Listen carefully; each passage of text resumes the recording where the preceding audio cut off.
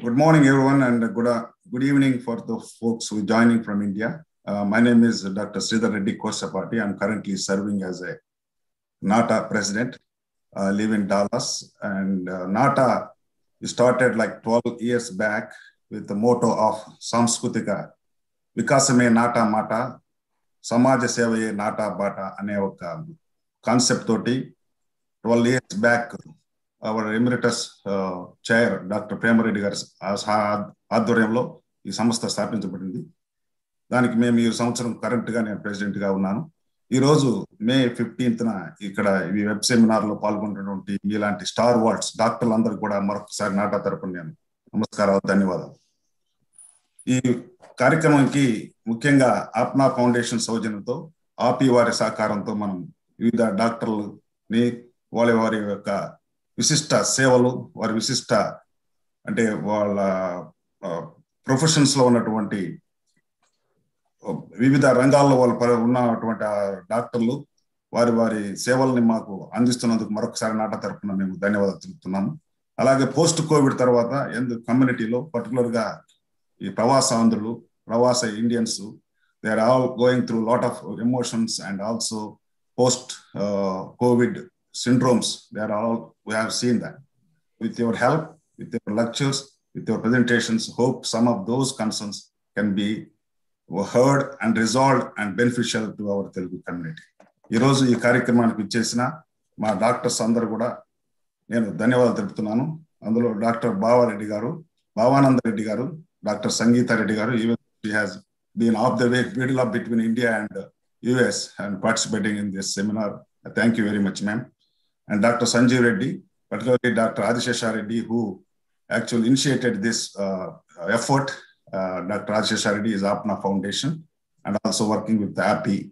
Dr. Ravi Kolli, Dr. Upama, Dr. Mohan Mallam, Dr. Inas, Dr. Kishore, Dr. Jag- Jagannath, Dr. Padma Jagaru, Dr. Swarna, Dr. Pad- Prasad Garimella, Satya Sriram గారు అలాగే ఈ యొక్క web seminar sorry doctor Praveen గారు plus అలాగే ఈ యొక్క web సెమినార్ని టెక్నికల్గా technical కానీ మాకు బిహైండ్ ఉండి మా నాటా ఈ వెబ్ సెమినార్ని సహకరించిన నా సహచర సోదరులు మిత్రులు మరియు మా కమిటీ మెంబర్స్ అయినటువంటి డాక్టర్ ఆళ్ళ సారీ ఆళ్ళ రామిరెడ్డి గారు డాక్టర్ సుబ్బారెడ్డి గారు మరియు Narayana Reddy is our treasurer And thank you very much. Now I am oh, giving over to the Dr. Adishasharani. Thank you very much.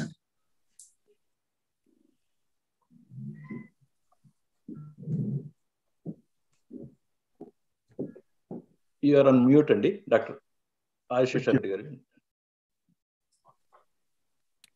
Yeah, go ahead. Go ahead. Yeah. Um, so I can't match uh, Sridhar's eloquence in Telugu, but I'll I'll speak in English.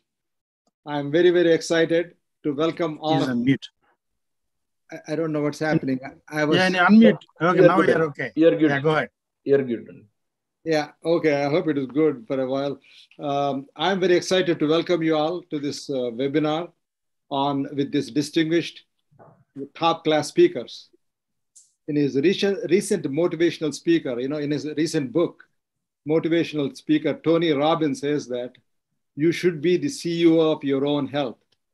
It doesn't matter what your profession is, whether you're a doctor or a professor or a computer expert or rocket scientist you should be proactive with your own health. And we hope this webinar helps you to shape your personal health, healthcare strategy. So, so that, that's what our motive, and hopefully we'll accomplish that at least to some extent. And this weekend has been hectic for me with my daughter graduating from UAB School of Medicine yesterday and could not devote as much time as I wanted to. But I'm quite happy with this wonderful cast of doctors supporting me in this endeavor, and also the computer professionals, uh, Dr. Alla, Sri Alla Ram Reddy Garu, and Dr. I mean Sri Subbareddy Garu, Meka Garu, and uh, Sri Gandra Narayan Reddy Garu, and Sri Kosapati Garu to support in this uh, effort. And I'm sure this will go smoothly. Without without non-doctors, this program would not have been a success. So I really appreciate them. So without any further delay, let me introduce our. Uh, I have a dual. Actually, I have a dual role. One, I'm a uh, chairman of advisory council of NATA, and also I'm involved with APNA Foundation. So with that, so APNA and NATA jointly did this endeavor with the blessing of API. So I'm going to introduce uh, president, past president and chairman of advisory council of NATA, Dr. Mohan Mallam, to introduce the first speakers, Dr. Sangeeta Reddy and Dr. Satya Sriram. Uh, Mohan, please take over. Okay. You, Sharidi. Good morning, good evening, everybody. You know, thanks to all the speakers, uh, you know, instead of spending your uh, time with your family on a Sunday, you're uh, doing some community service. Now, that is really a you know, applaudable uh, event. And we, uh, you know, before I introduce uh, them, first of all, let me thank Dr. Adishesha Reddy Garu for thinking about this topic, timely topic. Now, we are seeing the light at the end of the tunnel. And uh, Dr. Adishesha Reddy came up with this uh, topic and uh, you know, he gathered the speakers and coordinated. He spent a lot of time on this. And also the technical brains behind this today's uh, event, you know, Ram Reddy, Naran Reddy, and Subba Reddy, and others, who really, on behalf of the NATA, as a former chair of the Advisory Council and current member of the Advisory Council of NATA, I thank all of them for their time. And uh, we have a beautiful uh, schedule today. And the first speaker is uh, Dr. Sangeeta Reddy Garu. Actually, Dr. Sangeeta Reddy does not need any introduction. Everybody knows her. Now, she is the CEO of the Apollo Hospitals. And in spite of her uh, busy schedule, she was able to join uh, us uh, for a few minutes. And uh, after that, I think Dr. Satya Sriram Garu is going to give the actual uh, presentation. And uh, I'll let Dr. Sangeeta Reddy say a few words and then will, I will get on to Dr. Satya Sriram Garu. Sangeeta Reddy Garu, you want to say a few words? Okay. Namaste, good morning, good afternoon, and good evening. It's a pleasure to connect with all of you. The Indian community across the world is doing so much to elevate uh, the overall status of India, and uh, you serve in whichever area or whichever community you belong. So let me begin by congratulating you, and especially congratulating the uh, North American Telugu Association. Dr. Prem Sagar Reddy is also very well known to our family. And it's a pleasure to see all of you. So many friends, uh, Dr. Adishesha Reddy, Dr. Mohan Mallam, many, many of you, Dr. Anupama, Dr. Prasad, అందరూ చాలా బాగా తెలిసిన వాళ్ళు అందరికీ నమస్కారాలు మీరు ఈ programme చేస్తా చేస్తున్నందుకు మాకు చాలా సంతోషంగా ఉంది because Dr. Reddy my father, uh, continues to say that it is most important for us to focus on staying healthy and preventive health. So at Apollo, we're trying to commit that as much as we do in curing high-end care, you know, cardiac bypass and transplants, etc., we put an equal emphasis or focus on preventive healthcare and keeping people healthy. And this is a holistic view of health, including, uh, you know, Ayurveda and yoga and a very holistic view. So Dr. Satya will be speaking more about this. But I just want to uh, say one last line, and that is that the stress that the world has undergone in the last two years because of COVID uh, has been unprecedented. But there is hope because even in that difficult time, we found cures, we came out of it, we figured out how to create new protocols, we collaborated globally, we used technology, and we have found that the human race or mankind is actually capable of overcoming many obstacles. The big obstacle in front of us now is not really the underlying pandemic of uh, COVID, but really the endemic situation of non communicable disease, of which cardiac stroke and, and stress is one of the big factors. And its manifestations, uh, you know, from uh, sleep apnea to uh, all kinds of personality tensions, are being manifested because of the quality of life and the tensions of everyday life. So, our ability to really, like was beautifully said, be CEOs of our own health, find ways to manage our health, including the stress and uh, the entire environment, I think is really the key to future happiness. I also recently attended Peter Diamandis of Singular, uh, Singularity University of Abundance 360. And his hypothesis is really that all of us have the potential to really live beyond 100 or 120 because of the advances that science is making today. But it's in our hands to live those years healthy and happy. And so, with this, I'm going to wish all of you a healthy life. And I'm going to hand over to my colleague, uh, Satya Sriram, who is the CEO of our Preventive Health Division. Uh, my congratulations and best wishes to all of you. Namaskar. Thank you. Thank you very Satya, much. over to you. Okay, yeah. Before she starts speaking, uh, Sangeeta I would like to introduce uh, Dr. Satya Sriram, who is the Chief Executive Officer of the, at the Apollo Hospitals.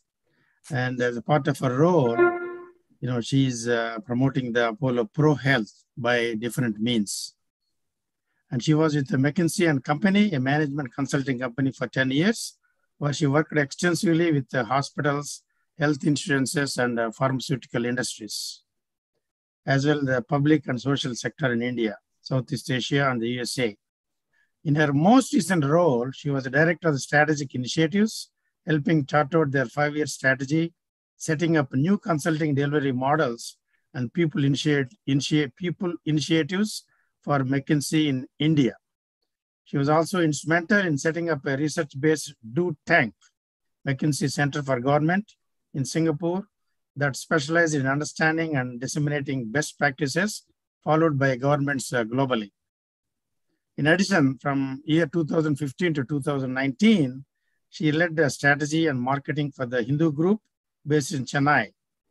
During her tenure with the group, she built new revenue streams in digital content subscription, as well as a consumer insights and marketing solutions advisory business. Satya has a PhD in neuroscience from Johns Hopkins University, and she brings her understanding of the brain to developing insights about the way consumers behave and respond. She also highlights the underlying neurophysiology of uh, leadership uh, behaviors and mindsets to coach students and uh, women at the workplace. So here is Dr. Satya Sriram. It is your turn, Dr. Satya. Namaste. Thank you so much for that very No, kind introduction. Satya Garu, can uh, I just do, as a moderator, I need to be, uh, is it 20 minutes possible? 20 minutes? Uh, okay. Oh, Absolutely possible. Absolutely. Thank you. Thank you. Wonderful. Thank you so much. And it's a delight to be here. Um, COVID was actually a very, very difficult and tough time for all of us across the world. Uh, but the one big takeaway for everyone collectively is that we absolutely must proactively think about our health. The life expectancy in the turn of the last century, 1900, was uh, 32 years old. But now it is 71. And as Dr. Sangeeta mentioned, it is going to uh, hit 100 and further in our own lifetime. We will all live longer as a society, but the opportunity is in how we are going to live our lives. The quality of our life in the future will depend on what we do today. And the critical first step for all of this is to ensure that we actually take a much more modern definition of health. Health is not just the presence or absence of disease, it is essentially how we feel, how we function, how we um, relate to one another, how we work, and how we actually live our lives. At Apollo, one of the things that we actually think about is six pillars of preventive health. Very much the first one is what we put inside our bodies, not just what items, but in what proportion. Having a balanced diet, controlling our portions to ensure that the right amount of the right fruits and vegetables, carbs, and proteins, including water and cutting out the sugar, is, is a critical first pillar. Physical activity, exercise, uh, at least 150 minutes a week, ideally, uh, making sure that we are not sitting, especially in front of our screens and at our desks all the time, having much more movement. And thirdly, flexibility and muscle strength. our musculoskeletal health is directly correlated with the quality of our life as well as the longevity. And I don't think as a group we pay enough attention to that aspect. So, thinking about our muscle strength and flexibility is another important angle. Sleep, sleep cycle, we're all aware, six to eight hours, but also impacts our body metabolism as well as our mind health. And so it is interconnected and an important dimension of what we need to think about and take cognizance of. Our mind health, as uh, in this in this day and age, we have actually uh, I exposed to about 32 GB of information um, every single day. That's how much our brain needs to actually process and file away and organize the most important aspects and discard what we don't think is important. We need to give the brain the space, the time to declutter, to be able to actually be positive and be able to embrace what we need to do.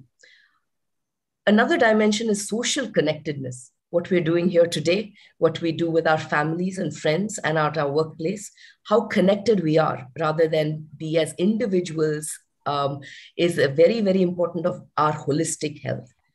And finally, when we do need to take medicines, it is critical to adhere to it.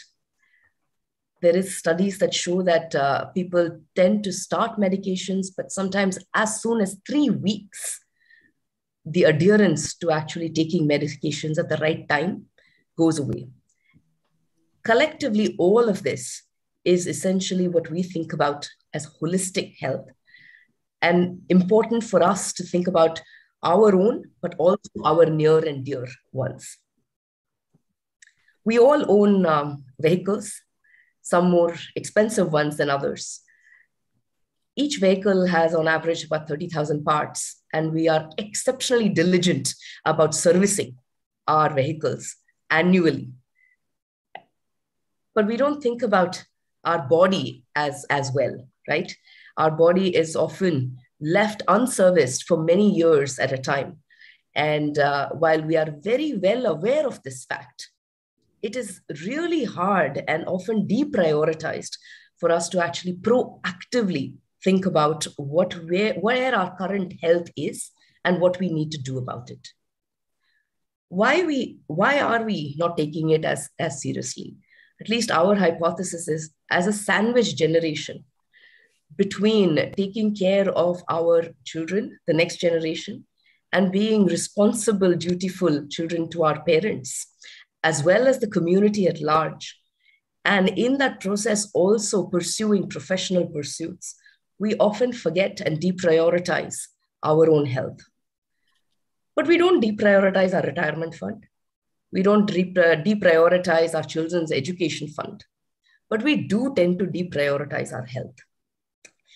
After thinking about what, therefore, why we do that, and what we need to do to change our own behaviors, um, we actually arrived on three important areas that we need to focus on as a Bono to really push preventive health and make it uh, realistic uh, for people to adapt uh, their lifestyles.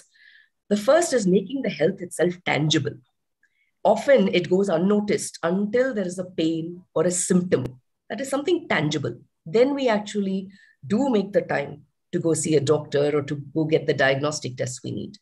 But un- can we make that health underlying health even more tangible even earlier. The second is um, Indian population risks. Genetically, we are different from Caucasian populations. This is well proven. There are many studies. Um, how are we ensuring that the um, risk scores that we have, that the uh, interventions that we do are tailored to Indian population um, risks itself, especially as we think about cardiac risk that is uh, increasingly uh, targeting people that is much younger, between 30 and 50 year olds, um, and far younger than Caucasian populations. and how do we then ensure that once we understand these things, we help people make behavioral changes to their habits itself and shift to healthier lifestyles that are sustainable? So, one of the first things in order to make the health tangible, we are actually using mixed reality to um, find a way to help you understand what is going on in your in your heart itself.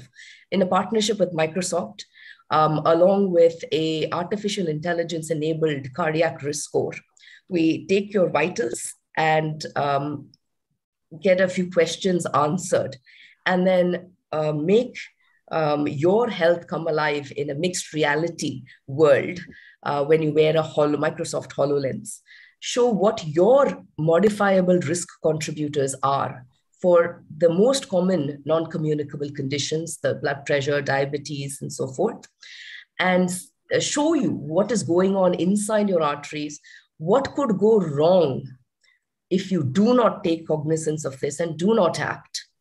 Um, and on the flip side, what could actually happen if you do shift your lifestyles um, to, to healthier diets and active physical um, exercise and so forth? The other thing we've done is actually transform the more traditional um, health check. Um, we, we wanted to go beyond a set of diagnostic blood tests and imaging tests to truly take a more holistic evaluation of, uh, of your current health status, including mind health, including sleep, as well as um, the musculoskeletal health. The first step to that is actually understanding your own risks. So we um, have devised a health risk assessment that takes into account your medical and family history, also the lifestyle choices that you have made. Using a prescriptive algorithm, recommend based on your risk what personalized tests you need to be doing on a regular basis. The second step from that is actually the diagnostic evaluation itself, multi organs, including the mind, including musculoskeletal, and then to be able to have a conversation with the doctor to understand what areas um, you need to focus on and how one can actually get healthier. We call this the path to wellness. Before we do that, we actually um, have developed uh, several risk scores that are on Indian population risks. Um, thanks to the, uh, the privilege of having um, data of uh, individuals across their lifespan, we've been able to develop cardiac risk scores that predict the risk of a cardiac event within seven to 10 years, your risk of having pre-diabetes within three years, as well as your risk of acute exacerbation of asthma that is connected with the air pollution index of the city that you are living in, and be able to predict these future health events for you and combine that as part of your evaluation. And finally, based on the doctor recommendations, your current risk health uh, risk uh, risks as well as um, uh, your current health status, we develop a path to wellness and ensure that one stays on this track through a series of messages, an app, as well as calls with health mentors to enable a nudge-based care continuum. We've seen over the last year with over 100,000 people going through this program, actual clinical outcomes in reduction in diabetes um, through an HbA1c marker, reduction in weight, as well as um, significant management and control of, of blood pressure. This is at the individual level. Um, we also think that many of these are actually relevant at the population health level. And I'd like to briefly share um, the example of total health. This is um, a set of villages um, in the Chittoor area where um, Apollo has actually invested a holistic community, community development program and included health and non communicable disease management as a very core part of that program itself. And uh, we've been able to follow people over a four to five year period, those who are diagnosed with diabetes, hypertension, and cancer. And we see that over this time period, we are able to proactively manage their conditions and control their blood sugars as well as their BP. I'm going to leave you finally with a message from our, the, our chairman, Dr. Pratap Reddy. Our life is priceless. I think COVID has taught us this tough life lesson. Um, and it is therefore imperative for every one of us to truly prioritize this above everything else, uh, above our professional pursuits, above our monetary pursuits, and to truly uh, protect it with everything that we have. Thank you very much. Wonderful. wonderful, Satya. So, Garu. Um, so, Sri Ram, Satya Sri Ram Garu. Yeah. Uh, so, so we have some questions open for uh, five minutes questions. So, anybody has any questions for uh, Dr. Sri Ram? So, so I'll I'll just ask uh, something. So, so it seems like um, the population, both in India and the US, uh, Indian community, we have the same uh, genetic risk factors. So, so I think uh, whatever you mentioned that can be extrapolated here also in the US. Absolutely. And I think that is very much the intent. A number of the work that is done typically tends to be around Western and Caucasian populations. And given that our underlying genetic make, makeup and physiology is slightly different, I think we owe it to the Indian community globally as well as in India to, uh, to take what we are learning here and, and take it to the diaspora across the world. I have a question what is the approximate cost of joining and for one or two years uh, following the program per individual? Yes.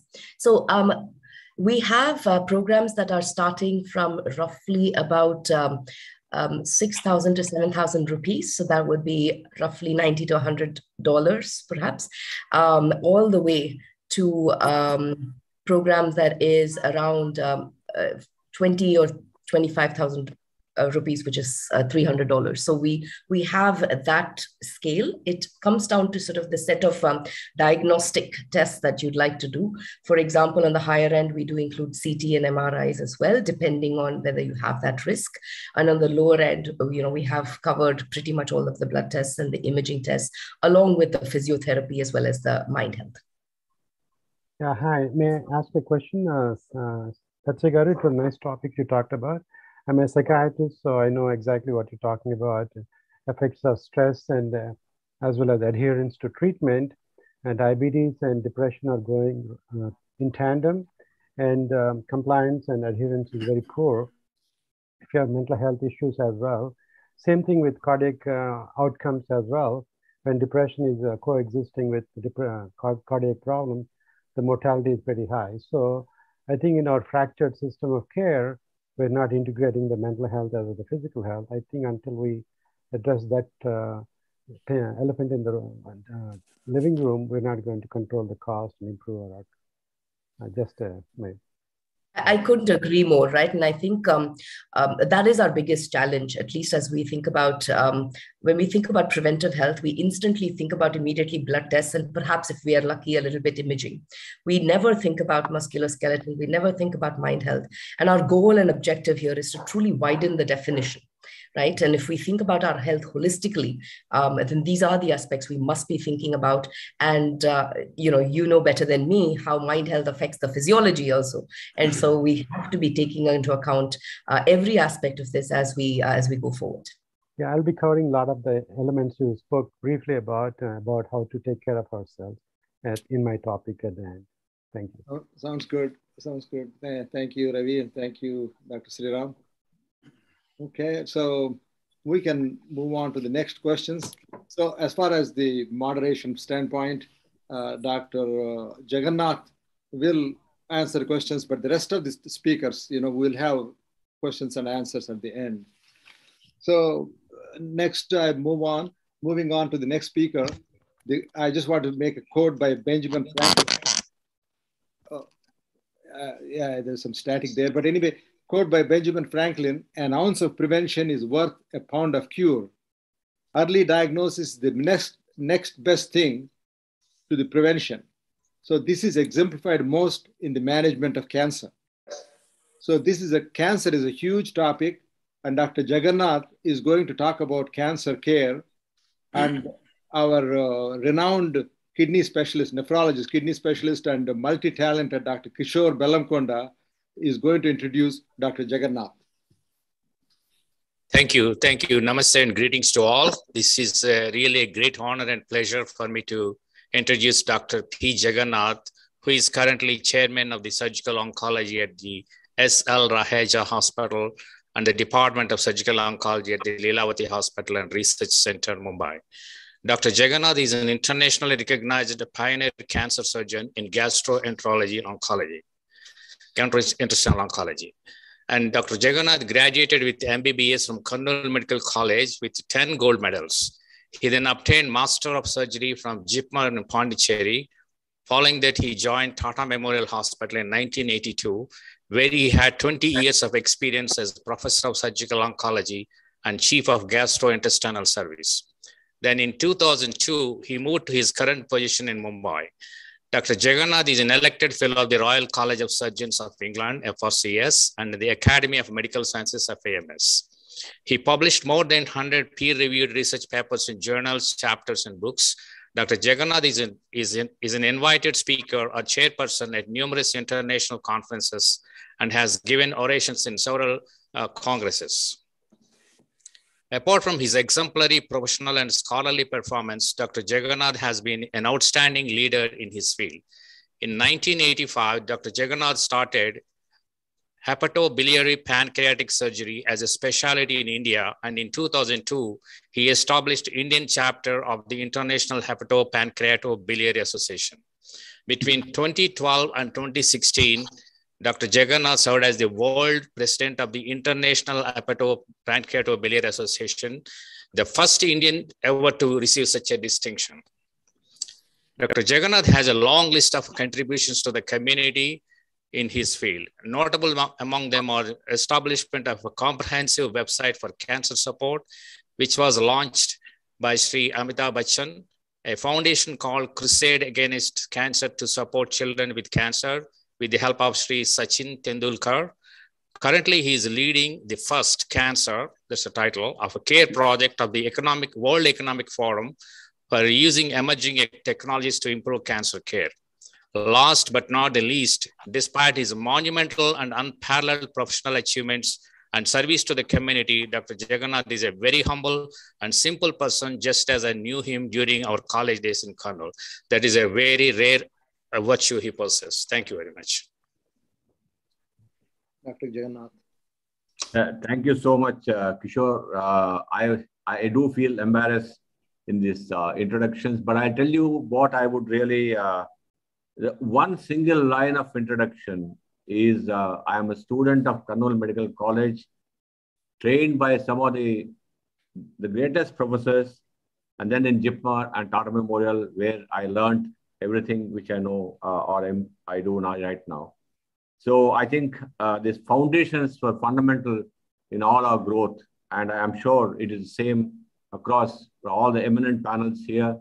It's really, Adishesha Reddy it's really a pleasure that you, uh, and a privilege that you've given me this uh, chance to speak to the entire uh, NATA and uh, along with the APNA and the community who are so, uh, your leaders in uh, in US and many other countries. So I would just focus on three different uh, themes. One is that how did we manage COVID uh, in the pandemic? How, how, did we manage cancer in the pandemic? This is because you have a lot of uh, lay audience also. As doctors, we do know what is uh, what was happening. And second thing is that how did we? I'm, I'm still having the uh, yeah how did we uh, manage the uh, the care after the pandemic? And what is the future directions as to what we are going to have at this point of time? You know, the cancer mortality covid mortality has been widely uh, put by you know by controversial numbers of uh, from the government of india and the who let's not get into that. But what really matters is that many succumb to diseases like renal cardiac and, and, of course cancer as healthcare uh, facilities, as all of you know, were overburdened with COVID patients. Many of you experienced uh, COVID from the other side. We as doctors have experienced COVID from the hospitals where nothing could stop and it only escalated and had different dimensions. All of us know that the, the three periods of pandemic were the first wave when, you know, somewhere in March 2020, where suddenly I was actually in New York in February, came back, and then straight away was swept away by the first wave. When we were just about relaxing, the Delta tsunami hit us, That was actually the most traumatic uh, period. And finally, the Omicron did not spare anyone, including my 95 year old father, who came out fairly, uh, I would say, without any problem, all thanks to vaccination. So, if the single message for all, every one of you, there's nothing but vaccination as far as COVID is concerned. That's all. And nothing needs to be, uh, is, be scared about. And that is one thing which I like to have a clear cut message for all of you. The healthcare professionals like me and many others had three different dimensions. We were caregivers on one, one, one, one, uh, one point, and we also became patients in the same uh, period. And but we were able to influence policy. This was a very important role where some of us could uh, uh actually make sure that the policies are in, in tune with science and not with whims and fancies. This is a very important contribution by a lot of medical professionals in uh, India and across the world. Every doctor, nurse, and I must say that nurses and paramedical staff, they were on the real, real front line. As consultants, we had a little bit of a fortunate uh, thing so that we were at least not on 24 7 duty, but many of these people were on 24 7 duty. And many of the doctors became patients, particularly when the COVID information was inadequate. And at least they estimated that 800 doctors died in India and nearly 80,000 across the world. More than the deaths, many of my friends still suffer from long COVID. They are breathless, they are weak, they are unable to, uh, you know, be productive in the usual way. So this is something which we need to understand and carefully uh, look into that we fortunately could manage the policy as well as the media. This therapy, when in, when in the beginning was biggest problem was as in the world over, the ICUs were just flooded, and then there was nothing we could do about it.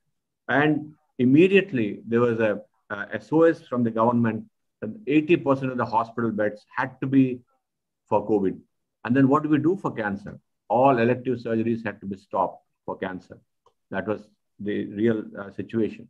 And of course, there was shortage of PPE kits, and the staff were continuously getting quarantined. At that time, the quarantine was almost four weeks, so they were off off work for four weeks, and there was very very acute shortage of all the uh, all, all, the staff. This is something which right now it, it look, looks like a, a very bad dream, but this is reality. And the challenges for the cancer patients were multifold. Their surgeries got postponed. Someone who was scheduled for surgery in a week or 10 days' time had to be told that we cannot operate on you. Radiation machines had to be closed because there was no way to keep sterilizing this equipment or even the staff had to be problem. Chemotherapy was a huge, huge blow. And access for travel. Unfortunately, in India, the number of cancer centers are few. People travel all the way, right from every corner of India to Mumbai, to Delhi, to Bangalore, to seek cancer care. And the lockdowns prevented from their travel. So this was something which is which was very, very difficult to handle. Drugs suddenly disappeared, and then drugs could not be procured for chemotherapy. Imaging has stopped. CT scanners suddenly were all uh, COVID lungs, and they could not manage any of the regular investigations for the cancer patients. The patients had to wait agonizingly. And every single one of them knows one thing that the lockdowns are not going to stop cancer. Cancer will continue, and that's a big reason for them to have multiple points of stress. And not only that, they had uh, unimaginable stress, stress for the whole family. I can just tell you a few true stories. Uh, my own good friend, my chartered accountant actually, whom they had operated for a sarcoma way back in 1998, on regular follow-ups in 20 and 21, the CT centers no one was willing to come to the hospital. And by the time things got better, the CT showed a lung metastasis. And that lung metastasis, unfortunately, was uh, involving the innominate artery, a very critical vessel in the heart. And then we had to fall back on chemotherapy, but there was some partial response. But again, in 2022, unfortunately, there's a progression of disease. A treatable cancer had advanced to a risk for life for someone who was had the access to care but could not produce or could not have the right diagnostic uh, follow-up in the right time. Surgeries for us was something which we can't even imagine now. We were in our PPE space suits. sweating away, having, you know, in four hours time, exhausted. And this, this continued to happen for almost six months time because we decided at that time that we will not stop surgeries for cancer. All the obstructed colons, any, any patient who was symptomatic, we were there every single day in the hospital. Our resident staff were there for two years continuously, and we operated. We operated all major hepatobiliary surgeries in this COVID times because there was no way we could stop surgeries and we could convince the administration that cancer has a priority and had to be taken care. But there were big problems as to how the patients had to reach the center. All, all the way from in Jharkhand, CS stomach continued to lose blood and he had to be transfused multiple times for six months. Finally, we could, uh, he could come down and operate. And the same thing for police, police permissions for, uh, for travel all the way from Jaipur.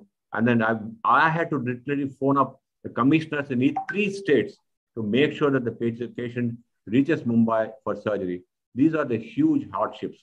So effects of COVID-19 pandemic in, in short were patients are of course much more vulnerable. Delayed diagnosis was delayed. Screening programs completely stopped.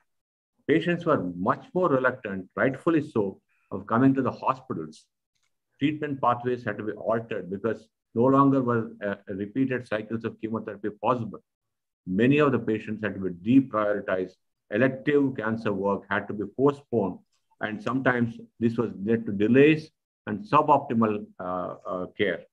And clinical trials, which are so essential for long-term therapy development, were all suspended because there was no way to recruit patients for this. Chemotherapy really has suffered most. Every time they used to come to the hospital, that to have an RT-PCR, drugs were not available, daycares, which are the, the bedrock of chemotherapy, are all closed, and the staff were not available because they were all diverted for COVID duties, and every protocol had to be reworked. This is the data actually coming from India, from National Cancer Grid. Look at the numbers. The number of patients fell by 54%. Tata Hospital, which normally takes about 30,000 patients a year, this just could not even uh, have 54% across, this is across India. And the follow-up visits just did not happen. Admissions did not happen. Outpatient chemotherapy crashed completely. Surgeries were down. Diagnostic tests were not available. And of course, patient accessing radiotherapy really came down. So in every dimension of uh, cancer, the care fell, fell by 50%. What is the impact? What has actually happened to these patients? Time alone will tell. But I know for certain that many of the patients who are otherwise amenable for treatment could not get their treatment in time because the cancer doesn't stop. The screenings may, may stop, the journeys may stop, the cancer doesn't stop. But let me tell you one thing there has been a significant adaptation to this crisis. Because what I always feel is every threat is an opportunity. Suddenly, we found that distributed cancer came, became essential. Every two uh, second tier city, patients were treated. My students are across all over the country in about 30 cities. Every one of them stepped up. They all started operating in the same way as I would do it. And then I was so happy that same Whipple's liver, everything was now being done, not in big cities, not in metros, but in tier two cities, way, way away from Mumbai, Nasik, Pune, and many other cities uh, undertook the treatment of uh, uh, cancer patients, which was very, very important. This centralization and the waiting for treatment of three months to four months were completely altered. And this is very important. Telemedicine was rapidly adopted. Till, till then, the government was dragging their feet on telemedicine, but it is rapidly adopted on all the legal hurdles were removed. And many of the uh, uh, centers, including Apollo and many other players, uh, came into telemedicine in a big way. And we converted all our consults into a tele consultation platform with a good data, good uh, uh, kind of a, a multi multi-structured uh, platform. Outpatients were all screened. Outpatients follow up literally, and the comfort of the home, which patients really appreciated. Someone sitting in Assam, coming all the way to Mumbai, just for showing a few follow-up visits and follow-up tests, not necessary anymore. And the doctors were comfortable because they were sitting at home and then doing their follow-ups. I was sitting in my, my home in Hyderabad when we, we moved. And then we did the consults on every single uh, day. And both the doctors and patients were uh, happy that their follow-ups could be taken care by a virtual consult. We did MDTs. We had a we had a we had a, a net group meeting where there was a pathologist, there was a radiation oncologist, and a surgeon and a chemotherapist, all coming together exactly like an MDT which you would have in your hospital, and do everything by a VC. And this this kind of uh, avoided unnecessary travel. Believe me, 30 to 40 percent of patients who come to Mumbai are only to be told that they are advanced and nothing can be done for them. Mm-hmm. All these patients can now be comfortably seen on an MDT and unnecessary travel, unnecessary expense for the whole family can be avoided by just using technology. And we could deliver standard care. It was not as though it is suboptimal care because all this uh, information was all possible by, by an MDT. So the hybrid approach has come to stay. We will never be going back completely to uh, physical follow-ups. Yes, we once we know that there's something to be taken care, they will certainly come. Otherwise, they can comfortably do a hybrid approach.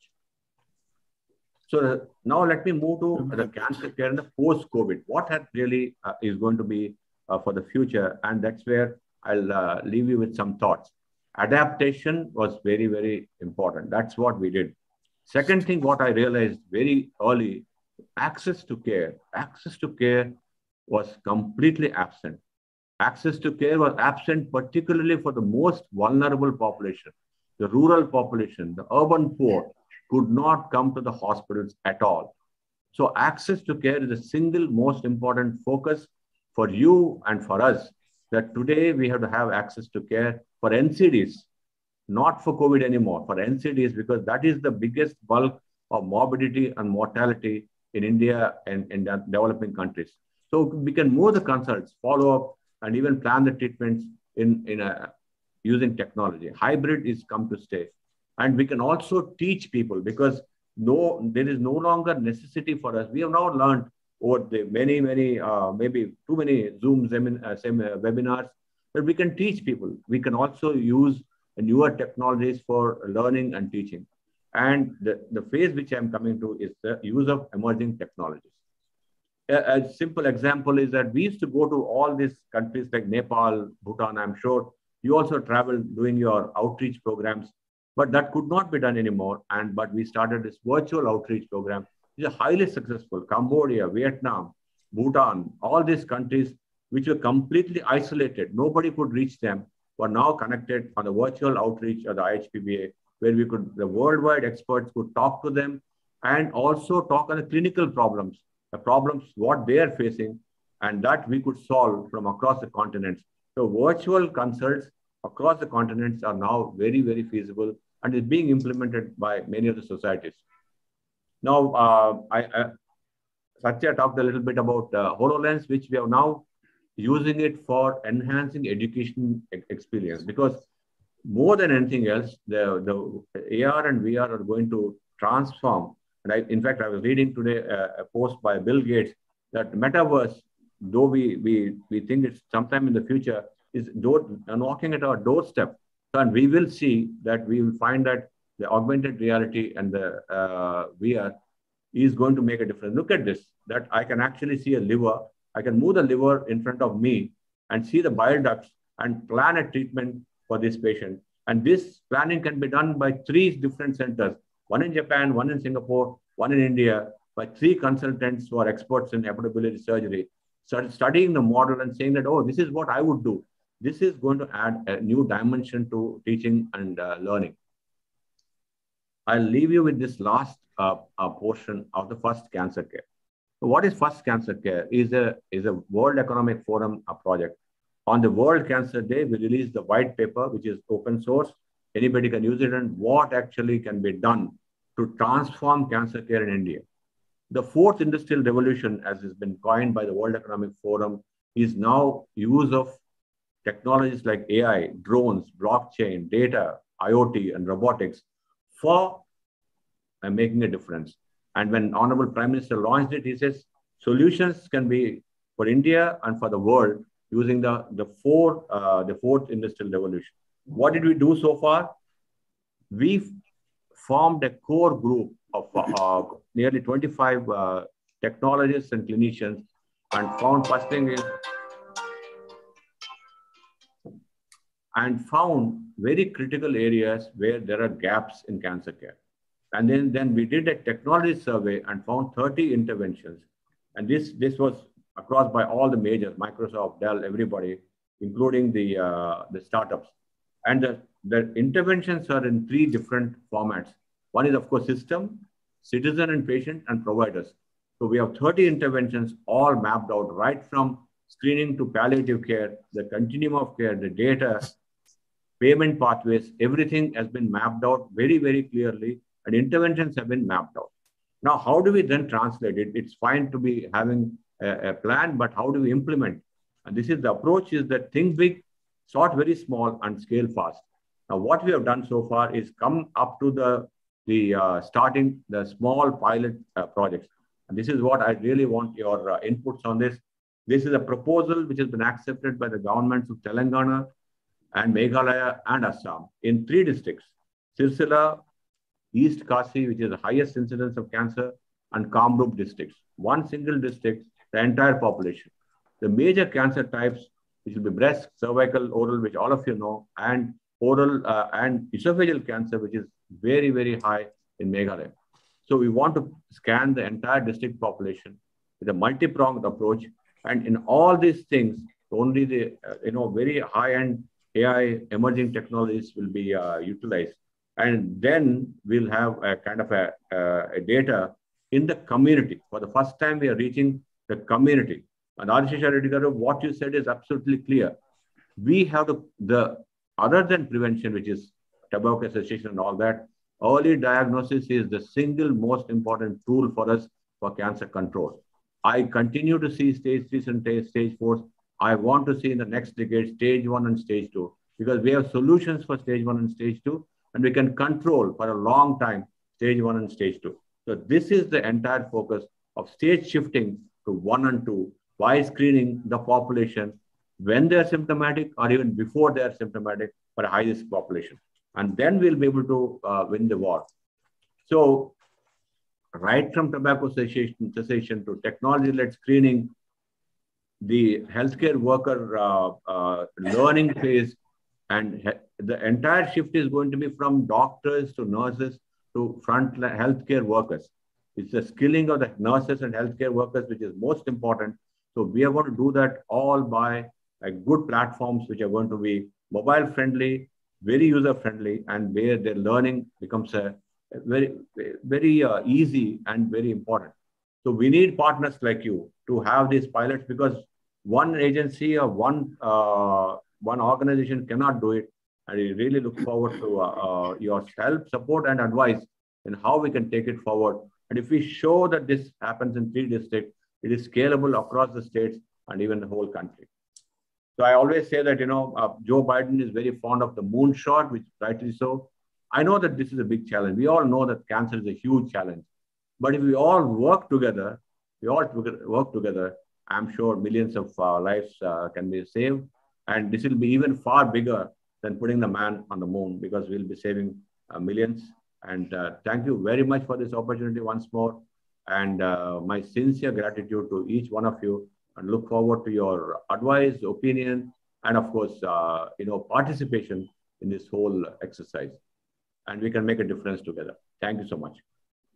Thank you. Thank you very much, Dr. Jagannath. Uh, so it was very wonderful and uh, humane and compassionate type of speech for uh, humanity, specifically cancer victims. So um, we have we are running a little bit short of time, but if somebody has a pressing question, let's go ahead and ask Dr. Jagannath before we move on to the next uh, subject. Yeah. Um, hello. Yeah. Yes. Sanjeev. Yeah, this is uh, Sanjeev Reddy. I'm a gastroenterologist in New Orleans, USA. Dr. Jagannath, that was an excellent talk. We faced the same problems as you did uh, in the beginning of the COVID pandemic. We had a lot of things postponed. We couldn't do endoscopies, we couldn't do surgeries.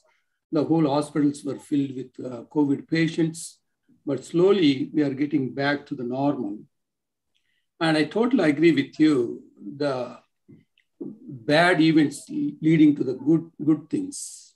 Uh, the telehealth has become pretty good, uh, even in this country, especially in India, when you don't have very many specialists like we have here. It's very important to have these telehealth consultations.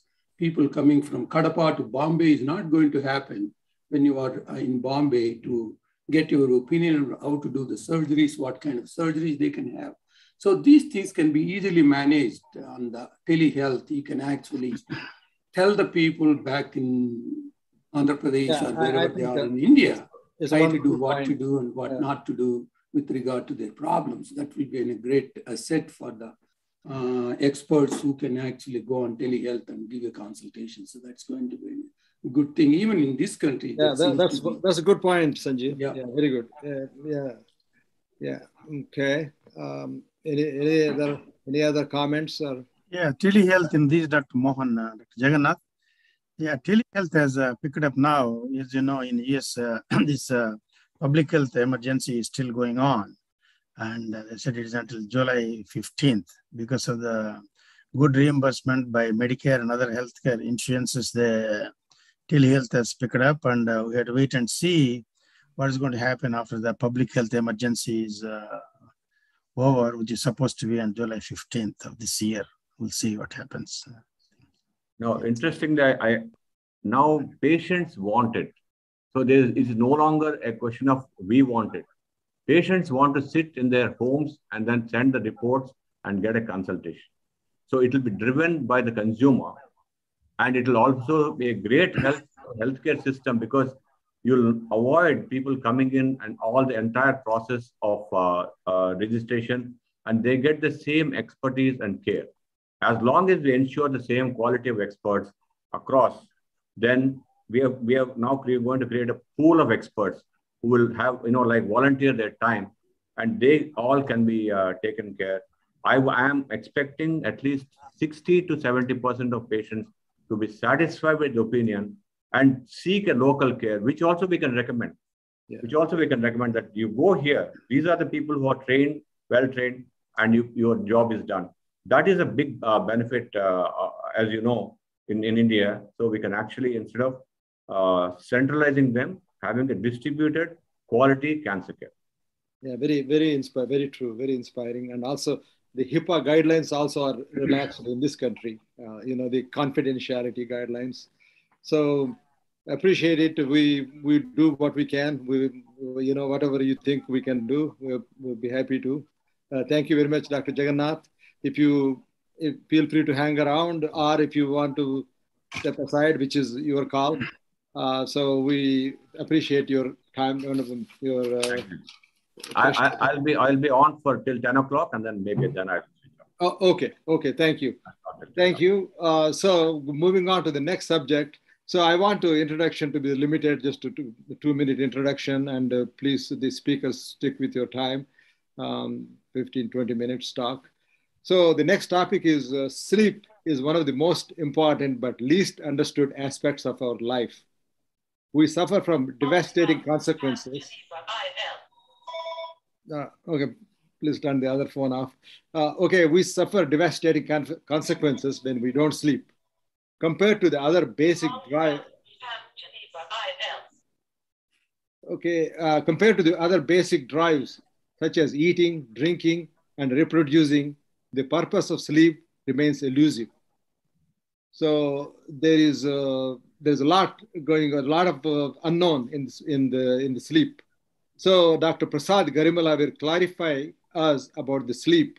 He's also going to talk about sleep as well as long COVID symptoms.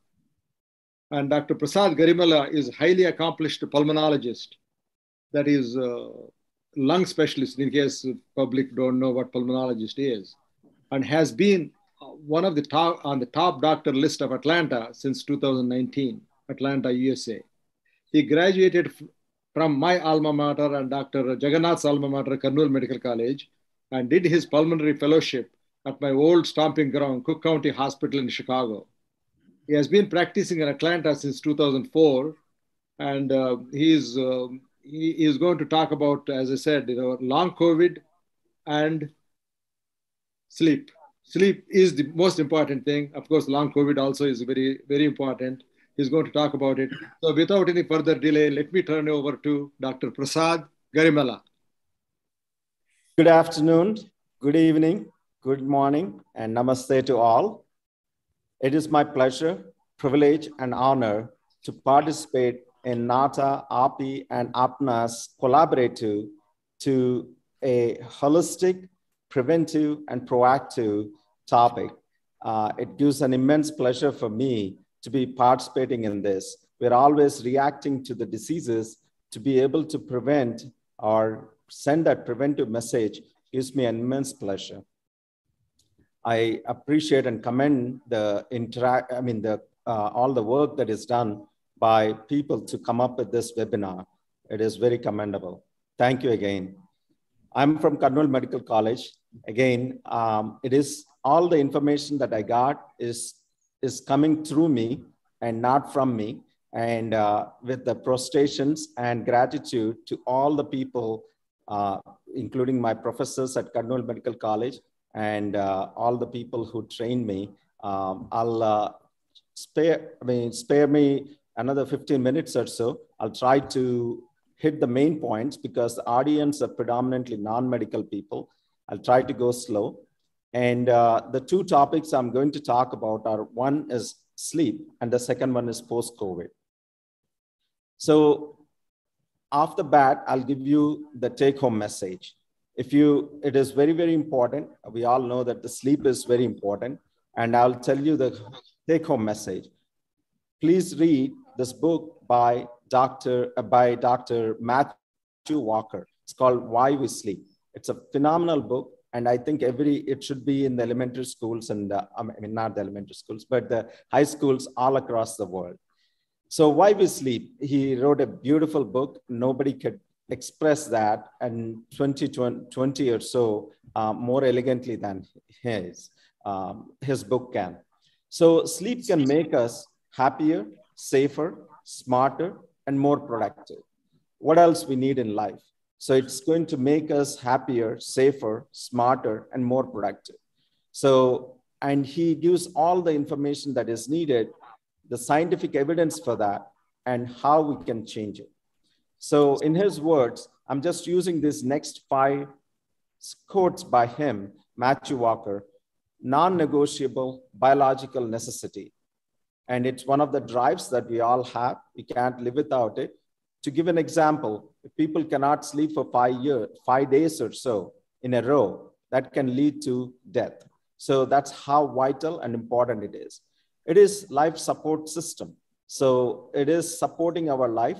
So that dance, the 16 hours on, it is like a cosmic dance. So 16 hours on in our mind, and then eight hours off on an average for the adult is what is keeping us healthy, happy, safe, and productive. So that is why it is very, very essential that we all realize how biologically essential sleep is. It's a life support system. And then it is the most powerful elixir that the nature can provide to us by knowing over a period of millions of that evolution of the human uh, of uh, evolution. So the chemicals the needed material are being produced at the right time for us at, uh, every day. So we are all born with our own pharmacy. What is needed for our mind, for our body, and its health of the mind and the body is being produced in our own mind and body. So the sleep by, produ- by producing these hormones, the chemicals, will auto adjust itself to the stresses that are brought to us. So, in other words, like Dr. Matthew Walker mentioned, Swiss Army knife of health. So it has everything that you can you need so that you can fix your health if it, there is a problem. And it is definitely not an optional lifestyle luxury. Compared to 100 years ago, humanity currently is getting at least 75 to 90 minutes less sleep compared to just 100 years ago. So it is very, very important that we don't take it granted and we take essential care of our sleep so it can take care of our health. So the four primary pillars, uh, the primary pillars. If you are sitting on a chair, say for example, it has four legs. So the sleep depends on these four legs. So sleep quantity, sleep quality, sleep regularity, and sleep hygiene. If we maintain those four of those legs, obviously we'll have a stable sleep and thereby stable health. So the first leg is basically the sleep quantity. We know this is for adults. At least seven hours of sleep is very essential for us.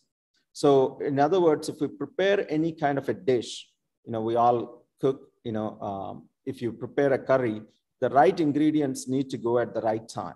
And then the duration that you are cooking it is also very, very important. If you don't cook for enough duration, obviously it's not a palatable or nutritious dish.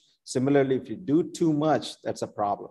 So it's a J-shaped curve and seven to eight hours of sleep is what you we all need to uh, aim for. So when we are talking about sleep quantity, you know, it's reiterating basically the ultimate outcome of this is the vitality for the body and meaning for our life. So there are multiple studies that have shown so better quality of sleep, better quantity of sleep will improve the attractiveness of the person, the weight loss, it, it is considered a weight loss medicine, having a good quality sleep and quantity sleep.